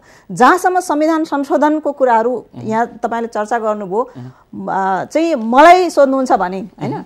संविधान संशोधन हुन सक्दैन। त्यस्तो होइन। संविधान संशोधन हुन सक्छ। संविधान ढुङ्गामा लेखिएको त होइन नि। आवश्यकता अनुसार संविधान परिवर्तन हुन सक्छ। संविधान घोषणा भएको संविधान घोषणा भएको छैन। तपाईँले हुन सक्दैन। अहिले तपाईँहरू होइन, सक्छ भन्ने यहाँ। यहाँ म भन्दैछु। संविधान असंसदीय हुन्छ। भारतमै कतिचोटि संविधान संशोधन भइसकेको छ विश्वमा धेरै ठाउँमा संविधान संशोधन हुन्छन् आवश्यकता अनुसार हुन्छ। तर के कुरामा संविधान संशोधन गर्ने र के कुरामा नगर्ने भन्ने त त्यहाँको जनताको अधिकारको कुरा होला नि। अहिले संविधान संशोधन जुन मनसायका साथ जुन नियतका साथ आइरहेको छ त्यसमा चिन्ह लगाउन पाउँछन् कि पाउँदैनन् नेपाली जनताले? जहाँसम्म म भन्छु भाषा होइन? अहिलेको संविधानमा के लेखिएको छ? नेपालमा बोलिने सबै मातृभाषाहरू नेपालका राष्ट्रिय भाषा हुन्। होइन यो लेखिएको छ नि। जब सबै मातृभाषाहरू नेपालका राष्ट्रिय भाषा हुन् भने त्यो संविधानमा संशोधन ल्याउनु पर्ने आवश्यकता किन? त्यो नियतका साथ आएको छ नि। हामी त यो बुझ्छौँ। नेपाली जनताले बुझेका छन्। अर्को कुरा प्रतिनिधित्वको कुरा छ। होइन राष्ट्रिय सभामा जनसङ्ख्याको आधारमा प्रतिनिधित्व गर्ने कुरा। यो यद्यपि सरकारले त्यो फिर्ता लियो। तिन महिलाको ठाउँमा एउटा महिला प्रतिनिधि हुनुपर्ने एउटा प्रदेशबाट भनेर ल्याएको थियो। अमेरिका जस्तो ठुलो देशमा चाहिँ जहाँ चाहिँ तिन करोड जनसङ्ख्या छ जहाँ चाहिँ मतलब चाहिँ लाखौँको जनसङ्ख्या भएको र करोडौँको जनसङ्ख्या भएको प्रदेशहरूमा स्टेटहरूमा बराबर इक्वल दुई दुईवटा मतलब चाहिँ प्रतिनिधि पचासवटा राज्यमा दुई दुईवटा चाहिँ राष्ट्रिय सभामा प्रतिनिधित्व भएको छ। त्यत्रो ठुलो लोकतन्त्रमा त्यस्तो देशमा भइरहेको छ भने नेपालमा जनसङ्ख्यालाई मात्रै आधार मान्नुपर्छ भनेर जुन संशोधन गर्न खोजेको छ नि त्यो एउटा मनोविज्ञान बनाउने एउटा मनोविज्ञान हुन्छ त्यसो हुँदाखेरि एउटा मनोविज्ञान निर्माण हुन्छ र भौलिक कानुन बनाउने ठाउँमा त्यो मनोविज्ञानको प्रभाव पर्छ। र त्यो प्रभाव चाहिँ भोलि नकारात्मक पनि पर्न सक्छ? प्रभाव र दबाब सक्छ। पर्छ। नेपालको राजनीति त हामीले देखाएको छौँ नि। कसैले लुकाएर लुकिने कुरा त छैन। त्यो छर्लङ्गै घाम जस्तै छर्लङ्गै छ नि त। हामी जस्तो अविकसित भूगोलमा सानो धेरै निर्णय निर्णय प्रक्रियामा चाहिँ बाहिरबाट उहाँहरूसँग बारम्बार यही सभा लाग्छु तपाईँहरू कतैबाट प्रभावित दबावित अथवा तपाईँहरूका मुद्दाहरू अर्कैतिर बनेर आएका हुन् भनेर सोच्छु। उहाँहरू होइन। त्यही ए, हाम्रै माटो हाम्रै भूगोल नेपाली जनताकै बिचमा बनाए भन्नुहुन्छ उहाँहरू। तपाईँहरू आशंका गर्नुहुन्छ? होइन कसैले अब जनता त यहीँको माटोको जनता हो। नेपाली माटोमा जन्मेको जनता नेपाली माटोकै हो होइन? तर कुनै व्यक्ति विशेष कुनै दल विशेषहरू होइन अ, बाहिरीय शक्तिबाट इन्फ्लुएन्स छन् कि छैनन् प्रभावित छन् कि छैनन् भन्ने कुरा चाहिँ मैले भनिरहनु पर्छ र नेपालको राजनीतिमा त छर्लङ्ग देखिएको कुरा हो नि। यो त हामीले देखिरहेका छौँ होइन। मतलब चाहिँ हिजो नाकाबन्दी हुँदाखेरि चाहिँ पारी भात खाने वारी नाकाबन्दी गर्ने पनि यही ने, नेपाली आँखाहरूले देखेको हो। ती नेपालीहरूले नै गरेको हो होइन कसैको सहयोगमै गरेको हो। त्यो गर्नेहरू नेपाली नै थिए। हामी विदेशी हुन् भनेर भनिरहेका छैनौँ। त्यसो भएको कारणले गर्दाखेरि जुन संशोधनहरू संविधानमा दिएको अधिकारहरू फेरि मतलब किन पुनर्व्याख्या गर्नु पर्यो भन्ने कुरा हो। नागरिकताको सवालमा होइन चाहिँ वैवाहिक अङ्गीकृत नागरिकता नेपालको सङ्घीय कानुन बमोजिम हुनेछ भन्ने यही नै छ होइन।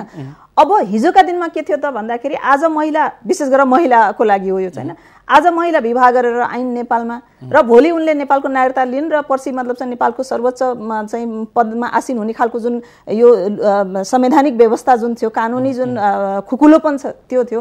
त्यसलाई अलिकता कन्ट्रोल मात्रै गर्न खोजेको होइन? कमसेकम नेपालको माटोमा जन्मिएका नेपालका छोराछोरीहरूले चाहिँ विशेष अधिकारहरू राख्नुपर्छ अङ्गीकृत नागरिकहरूलाई त्यो अधिकार दिनुहुन्न भन्ने मात्रै हो। जस्तो हामी भारतमै दिउँ सात वर्षभन्दा यता चाहिँ त्यहाँको नागरिकता पाउँदैन। भने अनि नेपाल जस्तो सानो देशले आज र भोलि नागरिकता खुकुलो गर्नु पर्छ भन्ने कुनै मतलब तर्क हुनसक्छ कस कुनै पनि महिला जो विवाह गरेर इन- इन- आउनु भएको छ नेपालमा कसैलाई पनि त नागरिक विहीन त बनाइएको छ जस्तो मलाई लाग्दैन। तपाईँले चाहिँ संविधान जारी भइसकेपछि अहिलेसम्मको आँकडा लिनु होला तपाईँहरू राज्यको जिम्मेवार चौथो अङ्गको मान्छेहरू हुनुहुन्छ। होइन अहिले पनि धेरै महिलाहरूले चाहिँ मतलब अङ्गीकृत नागरिकता लिइरहनु भएको छ। कहाँनिर अङ्गीकृत नागरिकता रोकेको अवस्था छ? छैन। तर के हो भने अङ्गीकृत नागरिकलाई नेपालको सर्व नेपालको संवैधानिक पदहरूमा हामीले आसीन गराउने कि नगराउने त्यहाँ पुर्याउने कि नपुर्याउने पुर्याउँदाखेरि पनि केही चाहिँ बार बन्देजहरू राख्ने कि नराख्ने भन्ने प्रश्न हो। अनि सबै कुरामा चाहिँ खुकुलो गरायो भने भोलि नेपाल जस्तो सानो देश कहाँ रहन्छ? हामीले मतलब चाहिँ सिक्किमको इतिहास हामी बिर्सेका छैनौँ नि। सिक्किमको सदनमा होइन एकजना बाहेकले मतलब भारतमा विलय गर्ने निर्णय गरेको थिए। एउटा मनोविज्ञान हुँदाखेरि चाहिँ भोलि त्यो मनोविज्ञान नेपालको सदनमा निर्माण हुन सक्दैन सक्दैन भन्न सकिन्छ। होइन हुन सक्छ नि। हुन सक्छ नि। होइन अनि त्यस्तो जानी जानी हामीले त्यस्तो कानुन बनाउने नेपाली नेपालको ओरिजिन नेपालीहरूले गर्ने हो। म त मधेसको जनतालाई पनि म आग्रह गर्न चाहन्छु कहाँनिर जनताको अधिकारहरू खोजेका छन्? बरु अङ्कृतहरूलाई चाहिँ बढी मतलब चाहिँ अधिकार सम्पन्न बनाउने जुन खेल भइरहेको छ त्यसप्रति मधेसी जनता आदरणीय मधेसी जनताहरूले चाहिँ सचेत हुनुपर्छ भन्ने म तपाईँहरूकै टेलिभिजन मार्फत अनुरोध गर्न चाहन्छु। उहाँको टिप्पणी विश्लेषण सुन्दाखेरि त तपाईँहरू भूमिपुत्र भन्नुहुन्छ होइन? हजुर। अल्पमतमा पर्नेको बढी सम्भावना त्रास रहेछ त? आयातितहरूको बलियो पकड बन्दै रहेछ तराई त मधेस त? तराईमा अहिलेसम्म माथिबाट पनि हामीले पेलेकै हो। हामीलाई पेलेकै हो। दक्षिण भेगबाट पनि हामीलाई पेलेकै छ। तपाईँहरू तपाईँहरू सीमामा बस्नुहुन्छ, पेलिरहनु भएको छ। पेलिर माथिबाट पनि पेलेकै छ। तलबाट पनि थारूहरूलाई त्यो दृष्टि हेर्ने हो भने पेलेकै छ। तर हामी आँतेको छैनौँ एउटा कुरा त्यो पेलाइले आँट्यो। तर हाम्रो अधिकारको विषयमा सबभन्दा बुझ्नुपर्ने के छ म नेपाली काङ्ग्रेसको संसद हो। एउटा कुरा याद गर्नुहोस् न काङ्ग्रेसका केही व्यक्तिहरू सीमाङ्कन दिने पक्षमा छन्। यो क्लियर हुनुहोस् तपाईँहरू। न एमालेको त अब कुरै छोडिदिनुहोस् होइन? नेपाली काङ्ग्रेसभित्र पनि यो तराईमा सीमाङ्कनको हेरफेरमा उनीहरू त्यति सोच नभएको व्यक्तिहरू छन्। उहाँहरू कुनै पनि अधिकार तराईमा नदिने सीमाङ्कन संहिता भनेको त सीमाङ्कन पनि हो। उसले क्लस्टर पनि बाँच्न सक्नु पर्यो नि। एउटा क्लस्टरमा झताबाबी मान्छे राखेपछि फेरि त्यही मान्छेको बाहुल्य हुन्छ भने त्यो संहिता गर्ने कुनै अर्थै हुँदैन नि। तपाईँलाई थाहा छ होला नि नेपाली समाजको बनावट बसोबास भूगोल होइन थाहा छ। थाहा हुँदा हुँदै पनि अहिले किन विकास हुन सकेन? किन संहिता चाहियो त? संहिता ल्याउनुको अर्थ हुनु पर्यो नि त। तपाईँको त्यहाँको पहिचानलाई हटाउने त्यहाँको थाक थोरले तपाईँले निरोल पार्ने र माथिबाट तल जाने तलबाट माथि झार्ने होइन? यी कुरा भयो भने दिने कुरा जस्तै उदाहरणको लागि दुई सय चौहत्तरको अहिले संशोधन भएर पेस भएको छ। दुई सय चौहत्तर दफामा बिस वा कहीँ नभएको जत्रा हाम्रो संवि संविधानमा थियो। सीमाङ्कन चेन्ज गर्दाखेरि हेरफेर गर्दाखेरि प्रत्येक प्रदेशमा सहमति लिनुपर्ने। त्यो सम्भव हुने कुरा हो। के के हामीलाई फास्ट ट्र्याकमा संविधान घोषणा यस्तै गर्न खोजा हो? साँच्चैकै तराईको मान्छेहरूलाई मधेसको मान्छेहरूलाई अधिकार दिन नखोजा हो। होइन? त्यसै कारणले त्यो मानसिकता चेन्ज गर्नुपर्छ काङ्ग्रेसका साथीहरू पनि। तपाईँले जति सहज होइन। ढङ्गले प्रस्तुत हुनुभयो त्यो समयमा फास्ट ट्र्याकमा नयाँ संविधान नआएको भए त नयाँ संविधान नआउने पनि त्यस्तै किसिमको त्रास थियो नि। होइन त्यो हामीलाई हाम्रा तपाईँ साथीहरूले सरल ढङ्गले प्रस्तुत हुन खोज्नुभयो विदेशी चलखेल तपाईँले भने भन्दा कति बढी थियो? त्यो हामीलाई हेर्नुहोस् हामीले पनि त्यो चलखेल सुन्या हो तर व्यवहारमा देखेनौँ। तपाईँ जुन किसिमको चलखेल यहाँ हुन्छ सोचेभन्दा बढी प्रचार गर्ने चलन रहेछ यहाँ। तत्कालीन होइन। सभापति सुशील कोइरालाले आज भोलि हामीले नयाँ संविधान दिएनौँ भने हाम्रो प्राप्त उपलब्धि नि कोल्याप्स हुन्छ भनेर बोल्नु भएको होइन नि अहिले संविधान घोषणा भयो। घोषणा भयो के? त्यो संविधान लागू भयो त। संविधानले केही दिएन त? होइन संविधानले दिएको छ। नदिएको होइन। होइन त्यो। होइन संहिता गणतन्त्र दिए हो। प्राप्त उपलब्धिलाई रक्षा गरेर होइन दिएको छ। तर त्यो कार्यान्वयन किन हुन सकेका छैन? होइन त्यो कार्यान्वयन किन हुन सकेका छैन त? जुन टाइममा संविधान घोषणा भयो एउटा तराईतिरको मधेसतिरको बत्ती बलेन अन्ध्यारोमा भयो होइन। त्यसपछि पहाडतिर बत्ती बल्यो। दीपावली मनायो तराईतिर दीपावली मनाएन मधेसतिर दीपावली आज हामी त्यही गर्दैछौँ फेरि। त्यो किन मिलाउन हामी सकिरहेको छैनौँ त? अहिले हामी चुनाव गरिया चुनावमा जानुपर्छ। लोकतान्त्रिक पार्टी हो जानुपर्छ। होइन? अहिले तराईतिरको वातावरण किन चुनावी वातावरण किन भइरहेको छैन? उहाँहरूको मागहरू तराई मधेसका मागहरू किन सम्बोधन भइराखेको छैन? थारूहरूको माग किन सम्बोधन भइराखेको छैन? होइन? सीमाङ्कनको माग किन समाधान फेरि पनि त्यही किसिमको एक त तपाईँहरू संविधान सभामा त्यो गर्नुभयो बत्ती बाल्नुभयो एकातिर फरक भयो। होइन? अन्ध्यारो खुसी अब त खुसी मनाएन। आज फेरि के अरे हामी चुनाव गर्दैछौँ। चुनाव गर्नुपर्छ।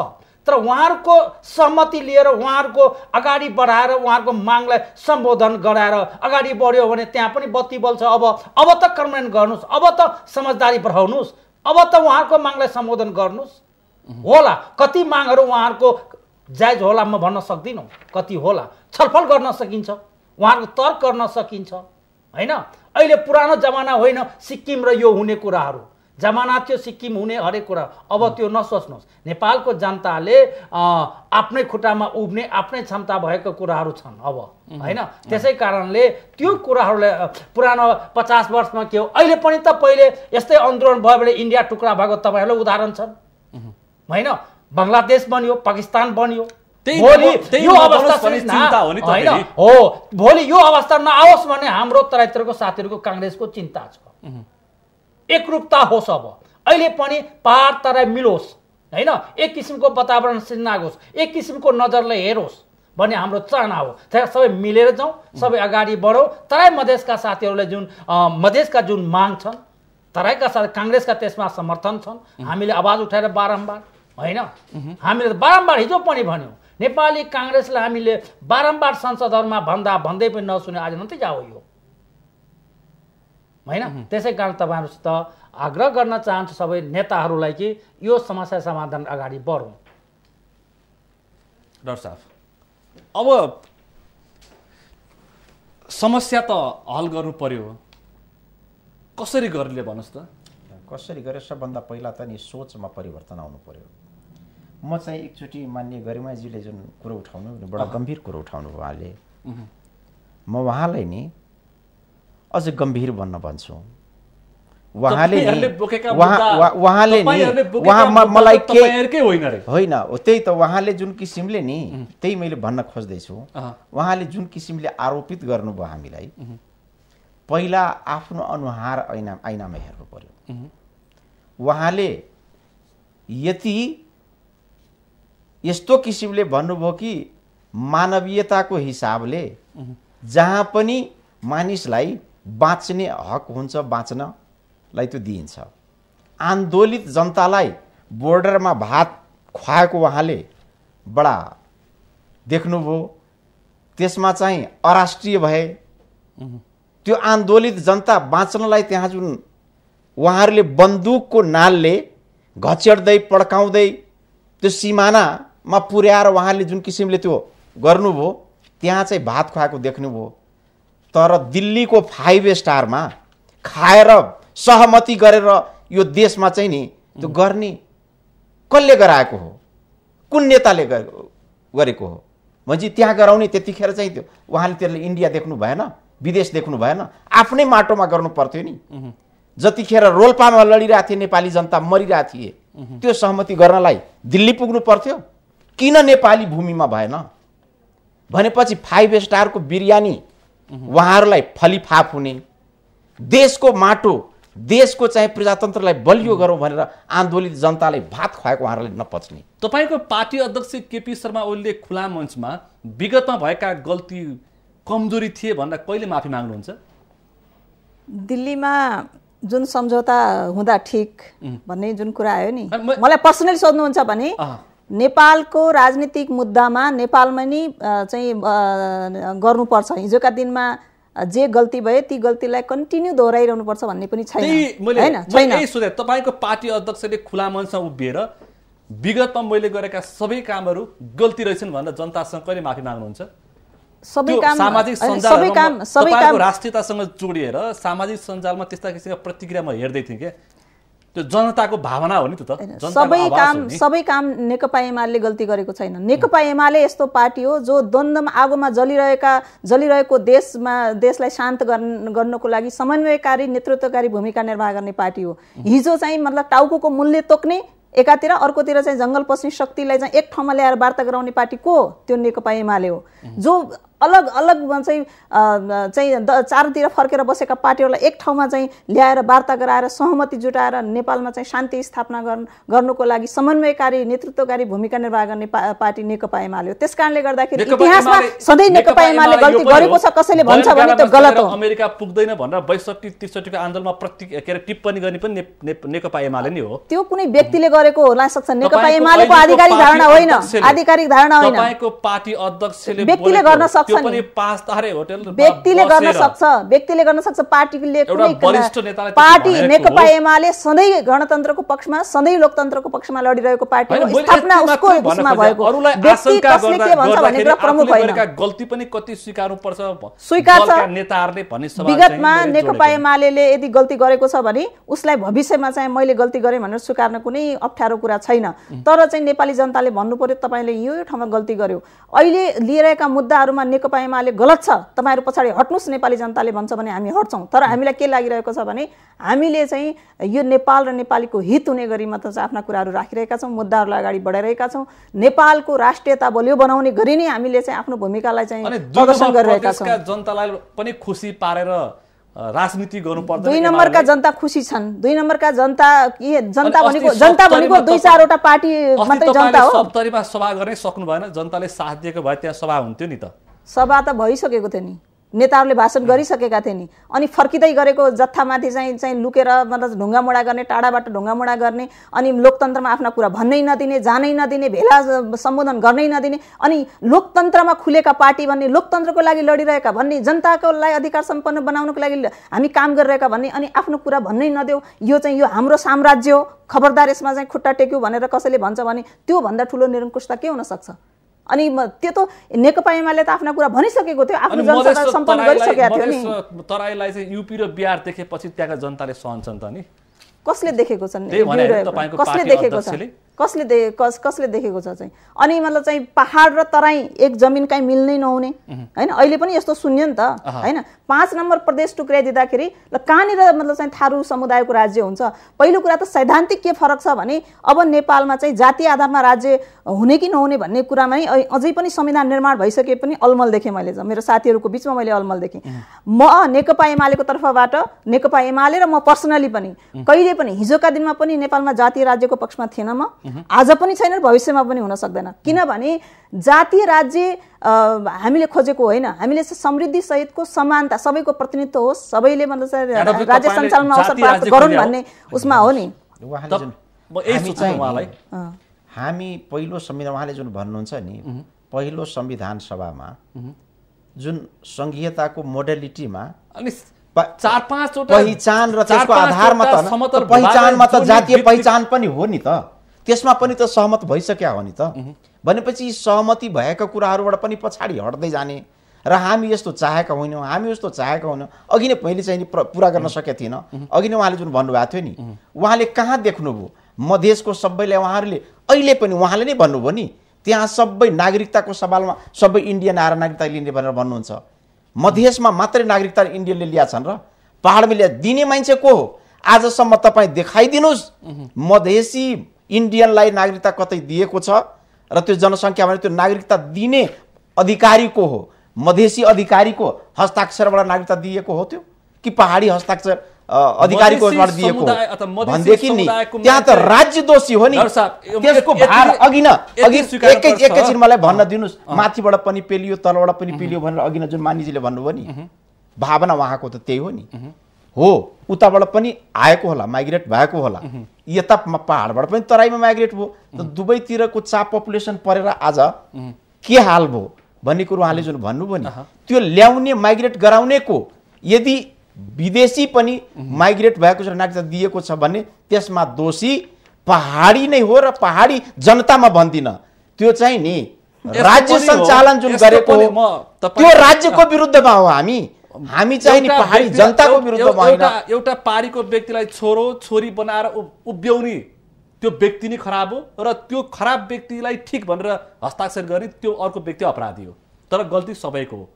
होइन तर दिने मान्छे अलि तपाईँले भने जस्तो अलिक बढी अपराधी हो भन्न खोज्नु भएको तपाईँ। होइन अलि बढी होइन बिल्कुल अपराधी हो। यदि विदेशीलाई यहाँ नागरिकता दिएको छ। र गरिमा मान्यजीले भने जस्तै यदि मधेसमा सबै भारतीयहरू नै आएका छन् भने त्यसमा अपराधी। ती राज्य नेपाल- हुन् नेपालको सत्तामा बसेका। नेपालको नागरिकता नस्ल हो जसले चाहिँ आज चाहिँ यहाँ त्यो भारतीयहरूको कुरालाई खण्डन गर्नुपर्छ है। मैले भारतीयहरूलाई चाहिँ मात्रै नागरिकता दिएको छ भन्ने कुरा चाहिँ बोलेको छैन। मैले मात्र के भनेको छु भने अहिले जुन संविधान संशोधन अङ्गीकृत नागरिकताको बारेमा चाहिँ जुन कुरा आएको छ त्यो आवश्यक किन थियो भन्ने कुरा हो? मेरो प्रश्न उहाँलाई। मे- किन आवश्यक किन त्यो सवाल लिएर उहाँसँग आउँछु? एकैछिनको विश्राम पछाडि तपाईँ यतिखेर माउन्टेन टेलिभिजनको यो प्रस्तुति आजको सन्दर्भ हेर्दै हुन्छ सन्दर्भमा छोटो विश्राम त्यसपछि बाँकी अंश जोड्नेछु। माउन्टेन टेलिभिजन हेर्दै गर्नुहोला।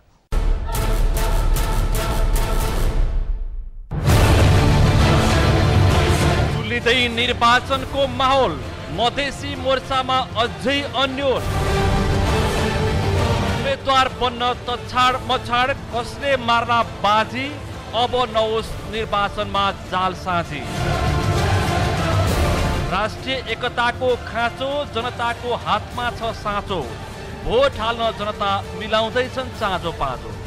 आजको सन्दर्भ। यहाँलाई पुनः स्वागत छ। तपाईँ यतिखेर माउन्टेन टेलिभिजनको यो प्रस्तुति आजको सन्दर्भ हेर्दै हुन्छ र आजको सन्दर्भ हामी समसामयिक राजनीतिक घटनाक्रममा केन्द्रित भएर स्थानीय तहको निर्वाचन संविधान संशोधन र आज मात्रै मधेसी मोर्चाले आन्दोलनको कार्यक्रम घोषणा गर्यो। त्यस पछाडि निर्वाचनलाई कति असर पार्न सक्छ भन्ने सवाल जोडेर छलफल गरेका छौँ। छलफलमा तिनजना नेता सहभागी हुनुहुन्छ। नेपाली कङ्ग्रेसका नेता तेजुलाल चौधरी त्यसै गरी नेकपा एमालेकी नेत्री गरिमा शाह र त्यसै गरी सङ्घीय समाजवादी फोरम नेपालका नेता डाक्टर शिवजी राय यादव हुनुहुन्छ। यहाँहरू तिनजनालाई पुनः स्वागत छ। अघि हामी अन्तर्राष्ट्रिय प्रभाव दबाव र के राष्ट्रियताका विषयमा कुरा उठाउँदै थियौँ। अब राष्ट्रियताका विषय भन्दा पनि अब निर्वाचन र समझदारीकै विषय अत्यन्तै आवश्यक छ। म साझीबाट भन्छु। अब एमाले व्यवस्थापिका संसदको दोस्रो ठुलो दल केही न केही त भूमिका देखाउनु पर्यो नि त सहमतिको लागि। दुई हजार चौहत्तर माघ सात गते भित्र तिन तहको निर्वाचन भएन भने त्यसपछि संविधानको हालत के हुन्छ? तपाईँले भनेको राष्ट्रिय राष्ट्रवादी संविधान नै कोल्यास हुन्छ फेरि। कलेप्स हुन्छ भनेकै कारणले गर्दा स्थानीय तहको निर्वाचन गराउनु पर्छ। स्थानीय त- तहको निर्वाचन जुन परिस्थितिमा पनि गराउनु पर्छ मैले भन्ने भने मान्यता एमाले बोक्छ पक्षलाई पनि सहमतिमा ल्याउने काम त एमालेको पनि हो नि। अब सबभन्दा पहिला त्यस सहमतिमा ल्याउने सरकारको जिम्मा हो होइन? सरकारले अहिले जुन संविधान संशोधन ल्याएको छ नि कसको लागि ल्यायो त? जसको लागि मैले ल्याएँ भन्दैछ होइन? त्यो चाहिँ मोर्चाले भनिरहेको छ हामीसँग सल्लाह भएको छैन हामीलाई यो मान्ने छैन होइन? भनिरहेको छ। र नेकपा एमाले राष्ट्रिय राजनीतिमा सरकारको सहयोगी हो भने यदि सरकारले सहयोगी मान्छ भने उसको सहयोग चाहिन्छ भने नेकपा एमालेसँग संवाद गर्नुपर्छ कि पर्दैन छलफल गर्नुपर्छ कि पर्दैन उसलाई सहमतिमा ल्याउनु पर्छ कि पर्दैन। अनि भित्र बसेर कसै कुनै पनि शक्तिलाई मान्ने नहुने गरी जुन संविधान संशोधन अहिले दर्ता भएको छ यो समस्याको समा निकास हुन सक्छ? यो समस्याको निकास त हुन सक्दैन। तर अब संविधान हामीले निर्माण गरिसक्यौँ। यो संविधान कार्यान्वयन गर्नको लागि त केही स्टेप त हामी अगाडि बढिसक्यौँ नि। हामीले एकचोटि संविधान संशोधन गरिसकेका छौँ। हामीले राष्ट्रपतिको चुनाव गरिसकेका छौँ। हामीले चाहिँ उपराष्ट्रपति बनाइसकेका छौँ। हामीले चाहिँ संसदको सभामुख हामीले निर्वाचन गरिसकेका छौँ। अब अब स्टेप टु स्टेप होला नि त। असन्तुष्ट पक्षलाई पनि त सन्तुष्टि त दिनु पर्यो नि। चरणबद्ध ढङ्गले हुन्छ जे कुरा पनि। एकैचोटि सबै कुरा समस्या समाधान त जादुको छडी त कसैसँग छैन नि। यति मान्नुहुन्छ मधेसमा समस्या छ कि छैन? मधेस एकदमै दलभन्दा माथि र वास्तविकतालाई हेरेर आकलन गरेर तपाईँ एकचोटि बोलिदिनुहोस् त। मधेस केन्द्रित दलहरूले हिजो भन्दैछु म। भन्दै होइन कहीँबाट सुरुवात गर्नु पर्यो नि। हिजो लामो समयसम्म जुन केन्द्रीकृत शासन व्यवस्था रह्यो होइन त्यो शासन व्यवस्थाले जन्मिएका कतिपय मनोवैज्ञानिक कुराहरू कतिपय आर्थिक पक्षका कुराहरू कतिपय सामाजिक सांस्कृतिक पक्षका कुराहरू अहिलेसम्म छन् होइन? र त्यसको सम्पूर्ण जिम्मेवारी अहिले अहिले त्यो सत् त्यो सत्ता त परिवर्तन भइसक्यो। हामीले गणतन्त्र त स्थापना गरिसक्यौँ। हो गणतन्त्र ल्याइसकेपछि यी सबै कुराहरूलाई चाहिँ भत्काउनुको लागि परिवर्तन गर्नको लागि हामीले संविधान निर्माण गऱ्यौँ होइन? तर त्यो संविधान निर्माण कार्यान्वयन गराउने कुरामा त अहिले पनि बखेडा झिक्ने काम भइरहेको छ। हिजो संविधान निर्माण गर्दै पनि चाहिँ अन्यथा नलागोस् चाहिँ त्यो संविधान मान्दैनौँ भनेर त्यो एउटा शक्ति बाहिरिएको थियो होइन? अब त्यसपछि गएर चाहिँ त्यही शक्ति फेरि त्यही संविधानमा टेकेर मतलब प्रधानमन्त्री बनाउन पनि आएकै हो होइन?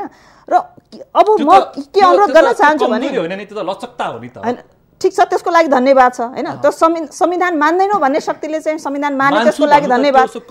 होइन।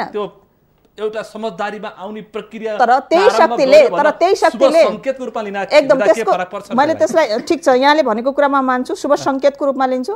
तर अहिले यो कुरा भन्न छाड्नु भएन नि। एकातिर दीपावली भइरहेको थियो अर्कोतिर चाहिँ मतलब चाहिँ अँध्यारो भइरहेको थियो। यदि मतलब चाहिँ मान्ने हो भने त त्यसका कमी कमजोरी सहित मान्नु पर्यो त्यसलाई चाहिँ फेरि मतलब त्यो कमजोरी हटाउनु पर्यो हामीले।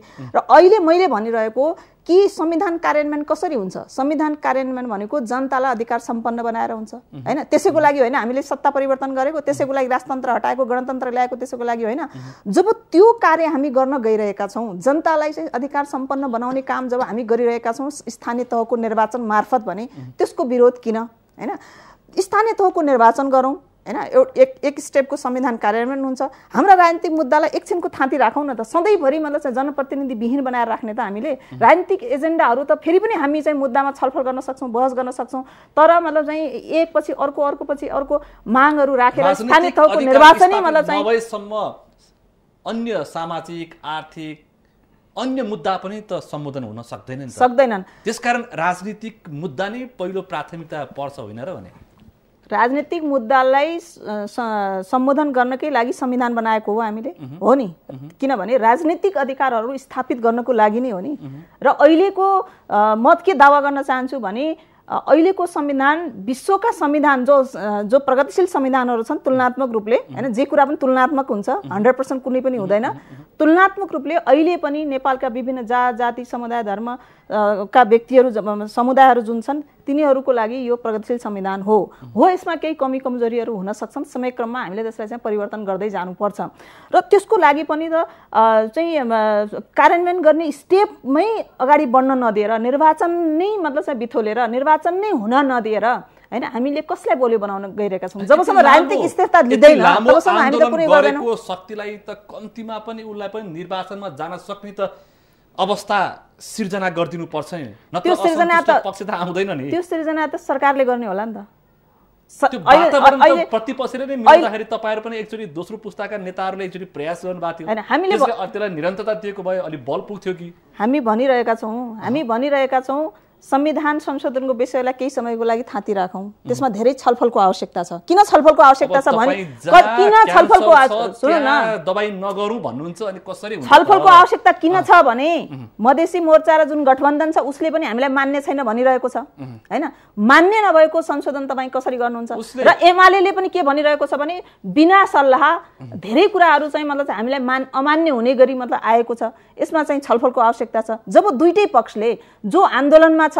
होइन जसले संविधान संशोधन खोजिरहेको छ त्यही शक्तिले के भनिरहेको छ भने हामीलाई यो मान्य छैन भनिरहेको छ भने अनि त्यो संशोधन कसको लागि त? कसलाई कसलाई सहमतिमा ल्याउनको लागि कसको लागि हो यो संशोधन चाहिँ?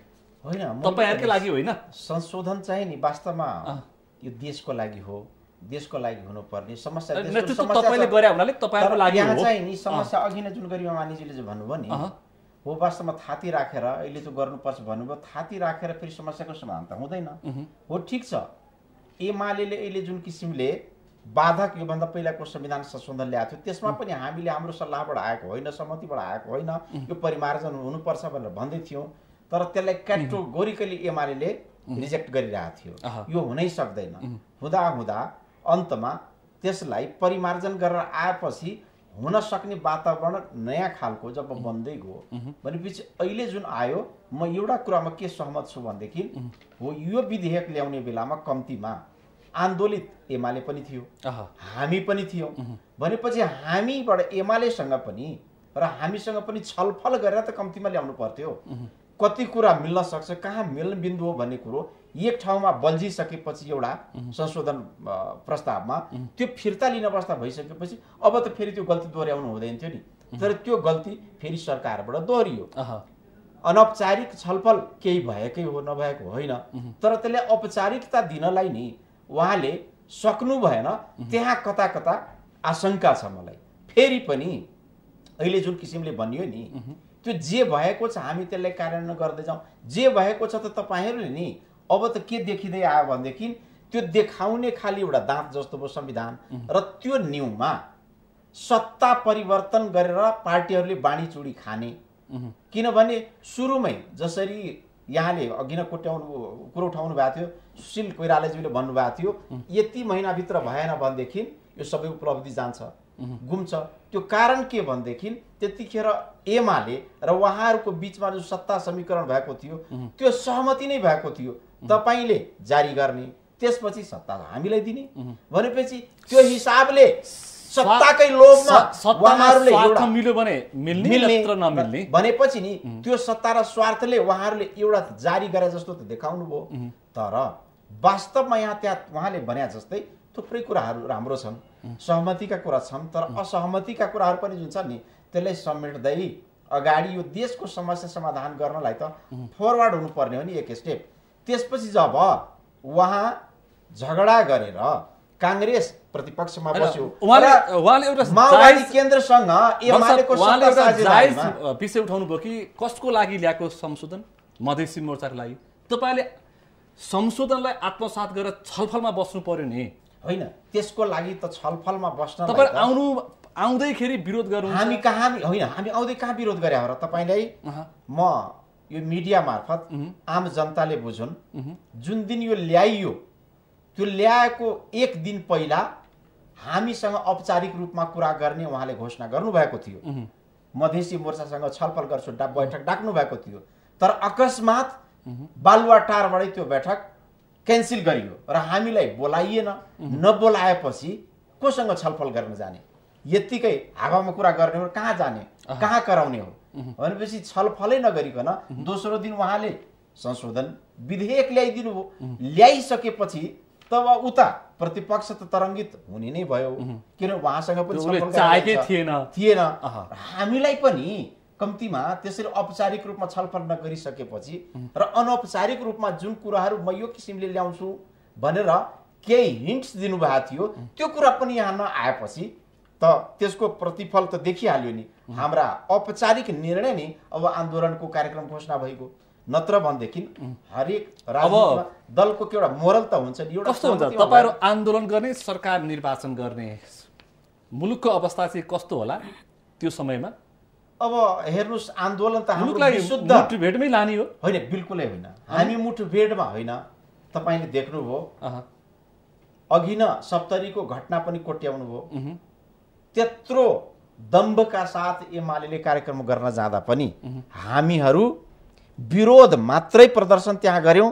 र अघि न गरिमा मानिज्यूले जुन भन्नुभएको थियो प्रजातान्त्रिक अधिकार सबैले सबै ठाउँमा कार्यक्रम गर्न पाउनुपर्छ। हो। हामीले त्यही त आफ्नो विरोध जाहेर गरेको हो। तर उहाँहरूले नि त्यहाँ कार्यक्रम गर्न पनि त राजविराजमा त भएकै हो नि। त्यो भइसक्दा र विरोध हुँदा पनि मानिस कहाँबाट कति आयो त्यो कुरोको अब आङ्कलन नगरौँ। त्यो प्रदेशको कति उपस्थित थियो कहाँबाट कति ल्याइयो तर हामीले त आफ्नो तर्फबाट संयम त अपनायो नि। तर कुन शक्तिले कहाँबाट त्यहाँ त्यस्तो किसिमको फेरि नि पाँच पाँचजना छ छजना शहादत प्राप्त हुने गरी नि लखेटी लखेटी टाउकोमा गोली हान्यो।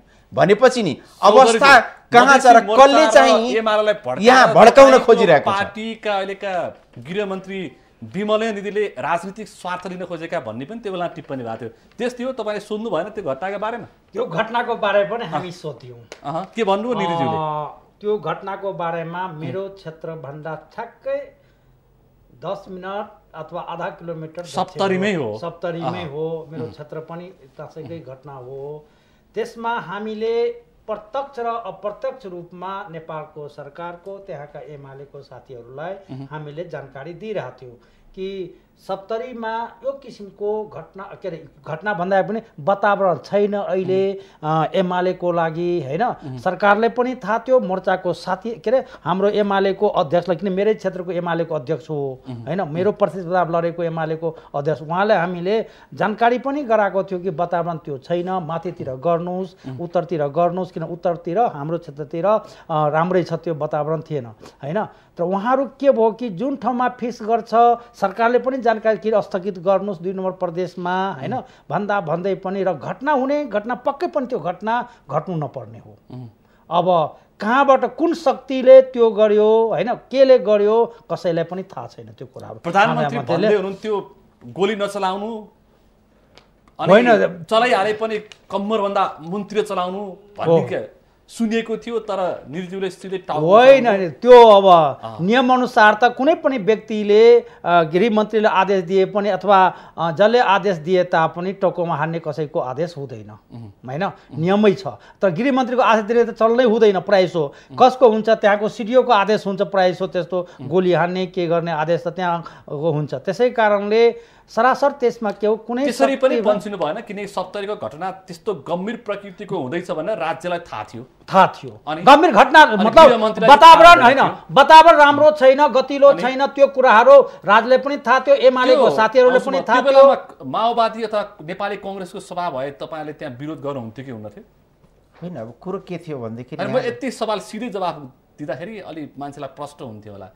मैले जवाब दिएँ उहाँको जवाब मैले मलाई तपाईँले काङ्ग्रेसको चाहिँ नि हुँदाखेरि जनतामा यस्तो किसिमको चाहिँ नि त्यस्तो उग्र उ- हुने थिएन।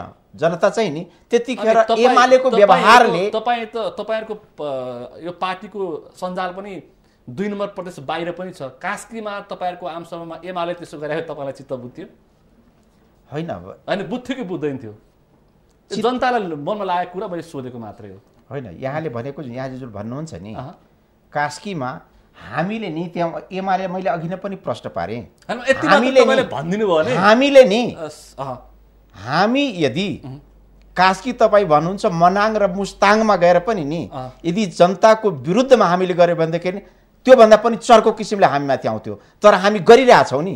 किनभने हामी कास्कीको जनता र मनाङ र चौधरी, मुस्ताङको तपाईँ के भन्नु जनताको? पक्षमा हाम्रो पार्टीले उठाइरहेको छ जस्तै। उदाहरणको लागि नेपाली काङ्ग्रेसले एकतिस गते जनकपुर हाम्रो सभा गर्ने योजना थियो अहिले चुनावी सभा। होइन? त्यहाँको वातावरण बुझ्दाखेरि त्यहाँका पार्टीका सभापति बुझ्दाखेरि अहिले नगर्दाखेरि राम्रो हुन्छ। होइन? र भनेर हामीले विथड्र गऱ्यौँ। हाम्रो पार्टीको नेताहरूले विथड्र गर्यो। होइन? कि इन्भाइरोमेन्ट त्योभन्दा बढी बिग्रियो भने त अझ चुनाव नहुन सक्छ। होइन? अझ पनि ठुलो घटना हुन सक्छ। होइन? हाम्रो विड्रो भयो। होइन? हामीले के भन्न खोजे हो भन्दाखेरि जब सप्तरीको विभिन्न कारणले जे घटनाको एमालेको साथी नेताहरूको भनाइबाट विभिन्न किसिमको बोलीबाट सप्तरीको जनता जनताहरू दुई नम्बर पर्दाका जनताहरूले चिडिएको पक्कै थियो। इन्भाइरोमेन्ट पक्कै पनि थिएन। एमालेको लागि पनि पक्कै पनि इन्भाइरोमेन्ट थिएन त्यहाँको सभा गर्ने। होइन? त्यही पनि जानु होइन? इतिहास भइसकेको छ। होइन, अब त्यो भएको हुनाले उहाँहरू सोच्नु पर्थ्यो। कमजोरीलाई अँ, आत्मसात होइन? अब वर्तमानमा कमजोरी नहोस्। एमाले पनि थोरै इगो साझ्न खोजेको मधेसमा छिरेर हेरौँ न भनेर पौठे जोरी खेल्न खोजेकै हो त्यो समयमा। अब त्यस्तो होइन। म यहाँलाई अनुरोध के गरौँ भने संविधान कार्यान्वयनको लागि र स्थानीय तहको निर्वाचन गराउनुपर्छ भन्ने एउटा चाहिँ सरकारलाई दबाब सिर्जना गर्नको लागि होइन?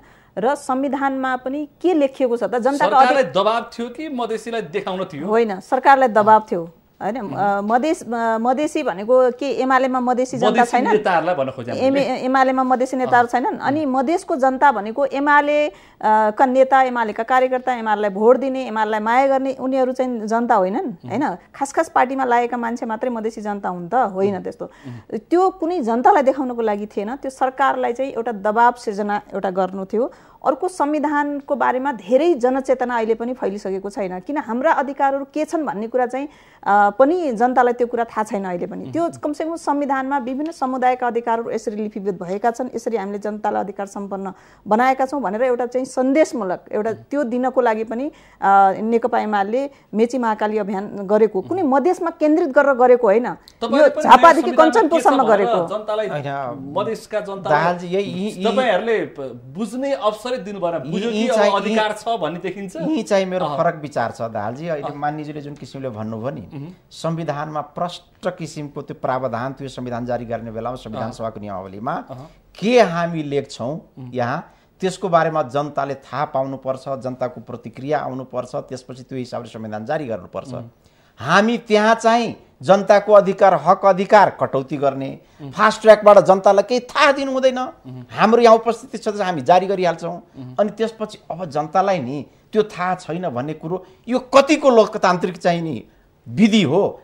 यो देशमा पहिलोचोटि संविधान सभा हामी संविधान सभा जारी गर्ने बेलामा जहाँ हक थियो अधिकार थियो त्यहाँ। प्रशस्त समय हामी दिनु पर्थ्यो हामी जनतालाई जानकारी नदिकन 31 गतेको- जारी गरेको संविधान। एकतिस गतेको निर्वाचनमा जाउँ हिसाब किताब जनताले त्यही नै गर्छन्। एमालेलाई फुलमाला लगाएर स्वाद गर्छन् कि पत्ता साफ गर्छन् त्यही दिन देखिन्छ। निर्वाचन हामीले बार बार अब भन्ने गरिएका छ त्यो निर्वाचनमा जाउँ हामी- हामीलाई निर्वाचनको विरोधी जस्तो हामी चाहेकै होइन। जस्तो खालको प्रस्तुत गरे त्यो पटक्कै होइन। हामी निर्वाचनमा नजाउँ भनेकै होइन। निर्वाचनमा जाउँ भनी पनि रहेछौँ। तर निर्वाचन भनेको कम्तीमा त्यो तह जुन छ नि। उपेन्द्र यादवले मतदाता सङ्ख्यामा हाम्रो कमी भएको छ धेरै ठाउँमा हाम्रो नाम छुट्या छ भनेर पनि भन्नुभएको छ। तपाईँले दल दर्ता त भएकै। हो नि, निर्वाचन आयोगमा दल दर्ता पनि गर्नुभएको छ। तपाईँहरू निर्वाचनको मनस्थितिमा हुनुहुन्छ तर कसरी प्रस्तुत हुने मुद्दा छोड्यो भने भोट नपाइने होइन होइन बिल्कुल त्यो।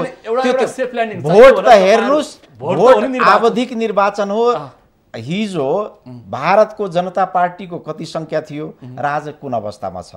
जनता चाहिँ सधैँ कुनै दलको चाहिँ किनेको कसैको कमैया होइन। त्यो जसले जनताको हक हितको कुरो गर्न सक्यो त्यसको पक्षमा जान्छ। पनि त्यसले गर्दा यहाँले भने हामी चाहिँ तपाईँले अधिकारको लागि भन्दा झन् तीन दर्जनको ज्यान दिनु भएको छ। त्यो ज्यानको क्षतिपूर्ति दिनुपर्छ। ज्यान चाहिँ क्षतिपूर्ति जनताले खोज्छन्। या- त्यसकारण तपाईँलाई सेफ ल्यान्डिङ चाहिएको छ। ज्यान चाहिँ नि होइन हामीले लिएका छैनौँ। ज्यान चाहिँ राज्यले नि निर्दोष जनतालाई गोली हानी हत्या गरेको छ शहीद बनाएको छ। यसको त मूल्य कति देशले चुकाउनु पर्छ त्यो त भविष्यले बताउँछ। तर यस्तो गर्दा गर्दै पनि अझ पनि मुठभेड गर्न खोज्ने अझ पनि पेलेर लान सक्ने र अझै पनि जनताको हक अधिकार सुनिश्चित गर्ने कुरोलाई त्यसो भएदेखि अब के गर्ने? अब अब भनेको के गर्ने? अब गर्नु पर्यो यत्तिकै स्थिर राखेर अस्थिरता राखेर पनि यथाशीघ्र यता आन्दोलनले केही कुरो बिगारेको छैन। यो चाहिँ जनता कति जनता आउँछन् आन्दोलनमा त्यो चाहिँ उहाँहरूलाई पनि एउटा मापन्त्य हुन्छ। जनता कति असन्तुष्ट छन्। यसलाई निगेटिभली हेर्नुहुन्न। जनता आएनन् आन्दोलनमा भनेदेखि त जनता सन्तुष्ट रहेछ भन्ने कुरो बुझ्नु पर्यो। जनता आन्दोलित भयो भनेदेखि त ए जनता आन्दोलित छन्। त्यसले गर्दा यिनीहरूको माग यसलाई एउटा चाहिँ तपाईँले पर व्यक्ति पचास लाख नभन्नु होला। होइन अब यहाँ हेर्नुहोस्। अब यस्ता कुरोहरू नि पर व्यक्ति पचास लाखको पनि गलत व्याख्या- गरी पाइँदैन पर व्यक्ति पचास लाख भनेर त्यही पनि थारू समुदायको बाहुल्यता भएको ठाउँमा गएर त्यहाँबाट तपाईँहरूको आन्दोलन सुरु भएको होइन अब यस- यस- यस्तो अब व्याख्या नगरियोस् त्यही नि त डाक्टर साहब। यहाँ चाहिँ नि थारू भएको। ठाउँमा मधेसी यतातिरको पूर्वको मधेसीले उक्सायो भन्ने कुरो होइन त्यो भनेको थारूको अपमान हो? दाहालजी त्यो भनेको थारूको अपमान हो थारू आन्दोलित भएकै हो। थारू चाहिँ नि पहिलो संविधान सभाबाट जे गलती हो त्यो कमी कम थारूहरूको आन्दोलनलाई साथ लिएर तपाईँहरूले दुई नम्बर प्रदेशमा आन्दोलन छेड्नु भएको त्यो त यथार्थ हो मधेसी मोर्चाको पनि माग छ थारू समुदायको पनि छ जनजातिको पनि छ सबैको माग सम्बोधन गर्नुपर्छ तर जनतालाई भ्रम पनि पार्नु भयो होइन, भ्रम पटक्कै पार्या- एजेन्डामा प्रभावित। पटक्कै पार्या छैन। दुई नम्बर प्रदेशको हाम्रो अध्यक्षजीको उपस्थिति त्यहाँको आन्दोलनमा त्यो उपस्थितिलाई त्यो किसिमले व्याख्या गराइयो। तर त्यो होइन त्यो विशुद्ध थारूको आन्दोलन हो थारूवट आन्दोलित थियो थारू आन्दोलित थिए थारूहरू नि अहिले दोस्रो संविधान सभा पहिलो संविधान सभाभन्दा धेरै नै जागरुक भए। र जब यो सङ्घीयता कार्यान्वयन हुने बेलामा जुन किसिमले पहिलो भ्रम फैलाइएको थियो मधेसी होइन थारू चाहिँ छुट्टै हो भनेर र त्यो हिसाबले अहिले पनि उहाँले भन्नुहुन्छ नि हामी भूमिपुत्र हौ हामी मधेसीसँग। नगाँसियोस् त्यसरी गाँस्ने प्रयास भूमिपुत्र नगरियोस् को होइन र के? अहिले पनि भन्नुहुन्छ नि। मधेसका मधेसी भूमिपुत्र होइन न मधेसका मधेसी पनि भूमिपुत्र हुन्। पहाड त्यसले गर्दा नि त्यो हिसाबले चाहिँ नग उ गरियोस्। तर हो थारू चाहिँ नि जुन किसिमले थारूलाई ओझल र अध्यारोमा राखिएको थियो विभिन्न किसिमको उसले त्यसमा चाहिँ जागरुक भएर यो आन्दोलन यो संविधान सभामा थरुवट आन्दोलित भएको थारू चाहिँ अगाडि आएकै हो र यसलाई हामीले सम्मान गर्नुपर्छ। जहिले पनि नि त्यसलाई उक्साएर यस्तो गर्यो भन्ने खालको अपमान चाहिँ गर्ने काम चाहिँ गर्नु नै यसलाई चाहिँ सम्मान गर्नुपर्छ। अब के गर्ने? निर्वाचनमा त जानु पर्यो। कङ्ग्रेसले एउटा नेतृत्व गर्नु पर्यो। यो देशको सबभन्दा पुरानो शक्ति अहिलेको व्यवस्थापिका संसदको ठुलो दल सरकारको नेतृत्व गरेका छ। वैशाख एकतिस गतिको निर्वाचन आइसक्यो। उहाँहरू अब आन्दोलन घोषणा गरिरहनु भएको छ। तपाईँको सभापति सुतेर बस्नु भएको छ। हाम्रो सभापतिले सुतेर बस्नु भएको छैन। अब तपाईँहरू बिउजाउने काम चाहिँ गर्दै हुनुहुन्छ। हामीले बिउजाउने मात्र होइन। हामीले धेरै कुराहरू भनिसकेका छौँ। हामीले विश्वास छ मोर्चासित थारूसित संवाद गरेर चाँडोभन्दा चाँडो यो निकासा निकाल्छ भने र एकतिसै गते चुनाव हुन्छ भने हामीले पूर्ण विश्वास छ र भएन भने केही सरेर भए पनि चुनाव हुन्छ टाढा नजाला होइन? पूर्ण देख्न सक्नुहुन्छ फ्ल्यासमा वीरगन्जमा बमको भेटिएको आशंका। अब त्रास सुरु भइसकेको छ। होइन बम भेट्नु अब यो ठुलो कुरो भएन होइन? त्यसलाई हामीले त्रास मान्नु भएन होइन? चुनाव हुन्छ होइन? तर सम्मति गरेर चुनाव हुन्छ। होइन हेर्नुहोस्। होइन मलाई म एकदम सर्टमा के। भन्छु भनेदेखि नि यस्तो अवस्थामा। चुनाव हुँदैन। यस्तो अवस्थामा सबभन्दा सबभन्दा बढी जिम्मेवारी सुरक्षा। निकायलाई छ। सुरक्षा निकाय कै प्रधान सेनापतिजीले नेपालगञ्जमा के भनिसक्नुभयो भनेदेखि मधेसको यो अवस्था रहँदा रहँदै मधेसलाई छोडेर यता पहाडमा मात्रै चुनाव गर्नु भुल हुन्छ। सबैतिर एकैचोटि चुनाव गर्नुपर्छ भन्ने किसिमको जुन गम्भीर उहाँको अभिव्यक्ति आयो त्यसलाई चाहिँ मलाई लाग्छ राज्यले मनन गर्छ।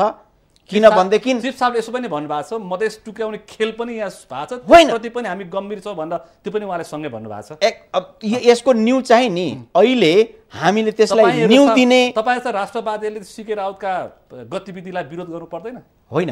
हामी चाहिँ नि सिके राउतको सही कुरोलाई हामीले मात्र होइन तपाईँहरूले पनि त्यो कुरो मान्नु पर्दैन। उसको चाहिँ भित्र के आगो के समस्या हो? ठिक छ जहाँबाट उसको चाहिँ कमी कमजोरी छ ल यो कुरो रोक्नुपर्छ भनेर भन्नुपर्छ।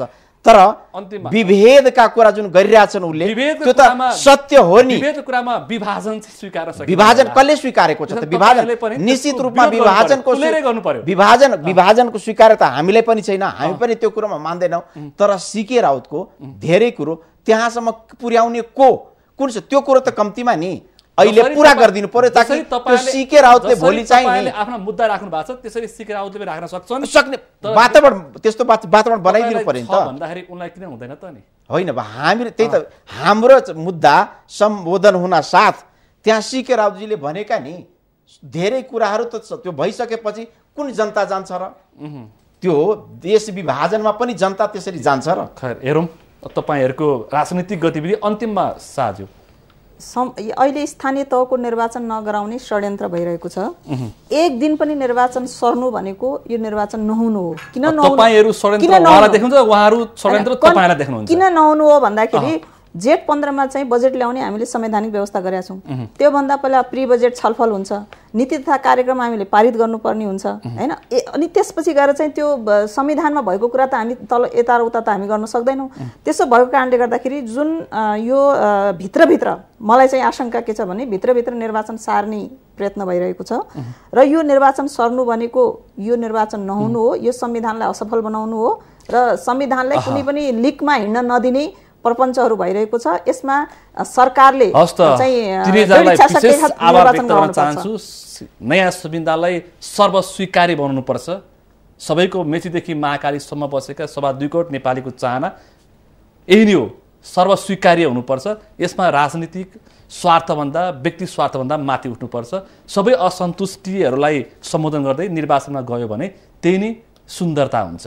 हस् त तिनैजनालाई आभार व्यक्त गर्न चाहन्छु। तपाईँहरूले अस्थिर राजनीतिबाट मुलुकलाई निकास दिनको लागि प्रयास गर्नुहोला। धन्यवाद। धन्यवाद। आज हामीले विशेष त वैशाख एकतिस गतेको स्थानीय तहको निर्वाचन मधेसको समस्या थारूको समस्या प्रतिपक्षको भूमिका अनि संविधान संशोधनमा केन्द्रित भएर विगत र वर्तमानको समीक्षा गर्दै छलफल गऱ्यौँ। आजको छलफलमा तिनजना नेता सहभागी हुनुहुन्थ्यो। नेपाली कङ्ग्रेसका नेता तेजुलाल चौधरी त्यसै गरी नेकपा एमालेकी नेत्री गरिमा शाह र त्यसै गरी सङ्घीय समाजवादी फोरम नेपालका नेता डाक्टर शिवजी राय यादव। उहाँलाई आभार व्यक्त गर्दै आजको सन्दर्भ यहीँ टुङ्ग्याउँछु।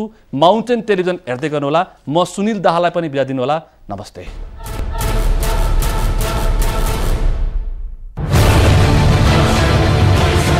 निर्वाचनको माहौल मधेसी मोर्चामा अझै अन्योल। उम्मेद्वार बन्न तछाड मछाड कसले मार्ला बाजी? अब नहोस् निर्वाचनमा जाल साझी। राष्ट्रिय एकताको खाँचो जनताको हातमा छ साँचो। भोट हाल्न जनता मिलाउँदैछन् चाँजो पाँचो। आजको सन्दर्भ।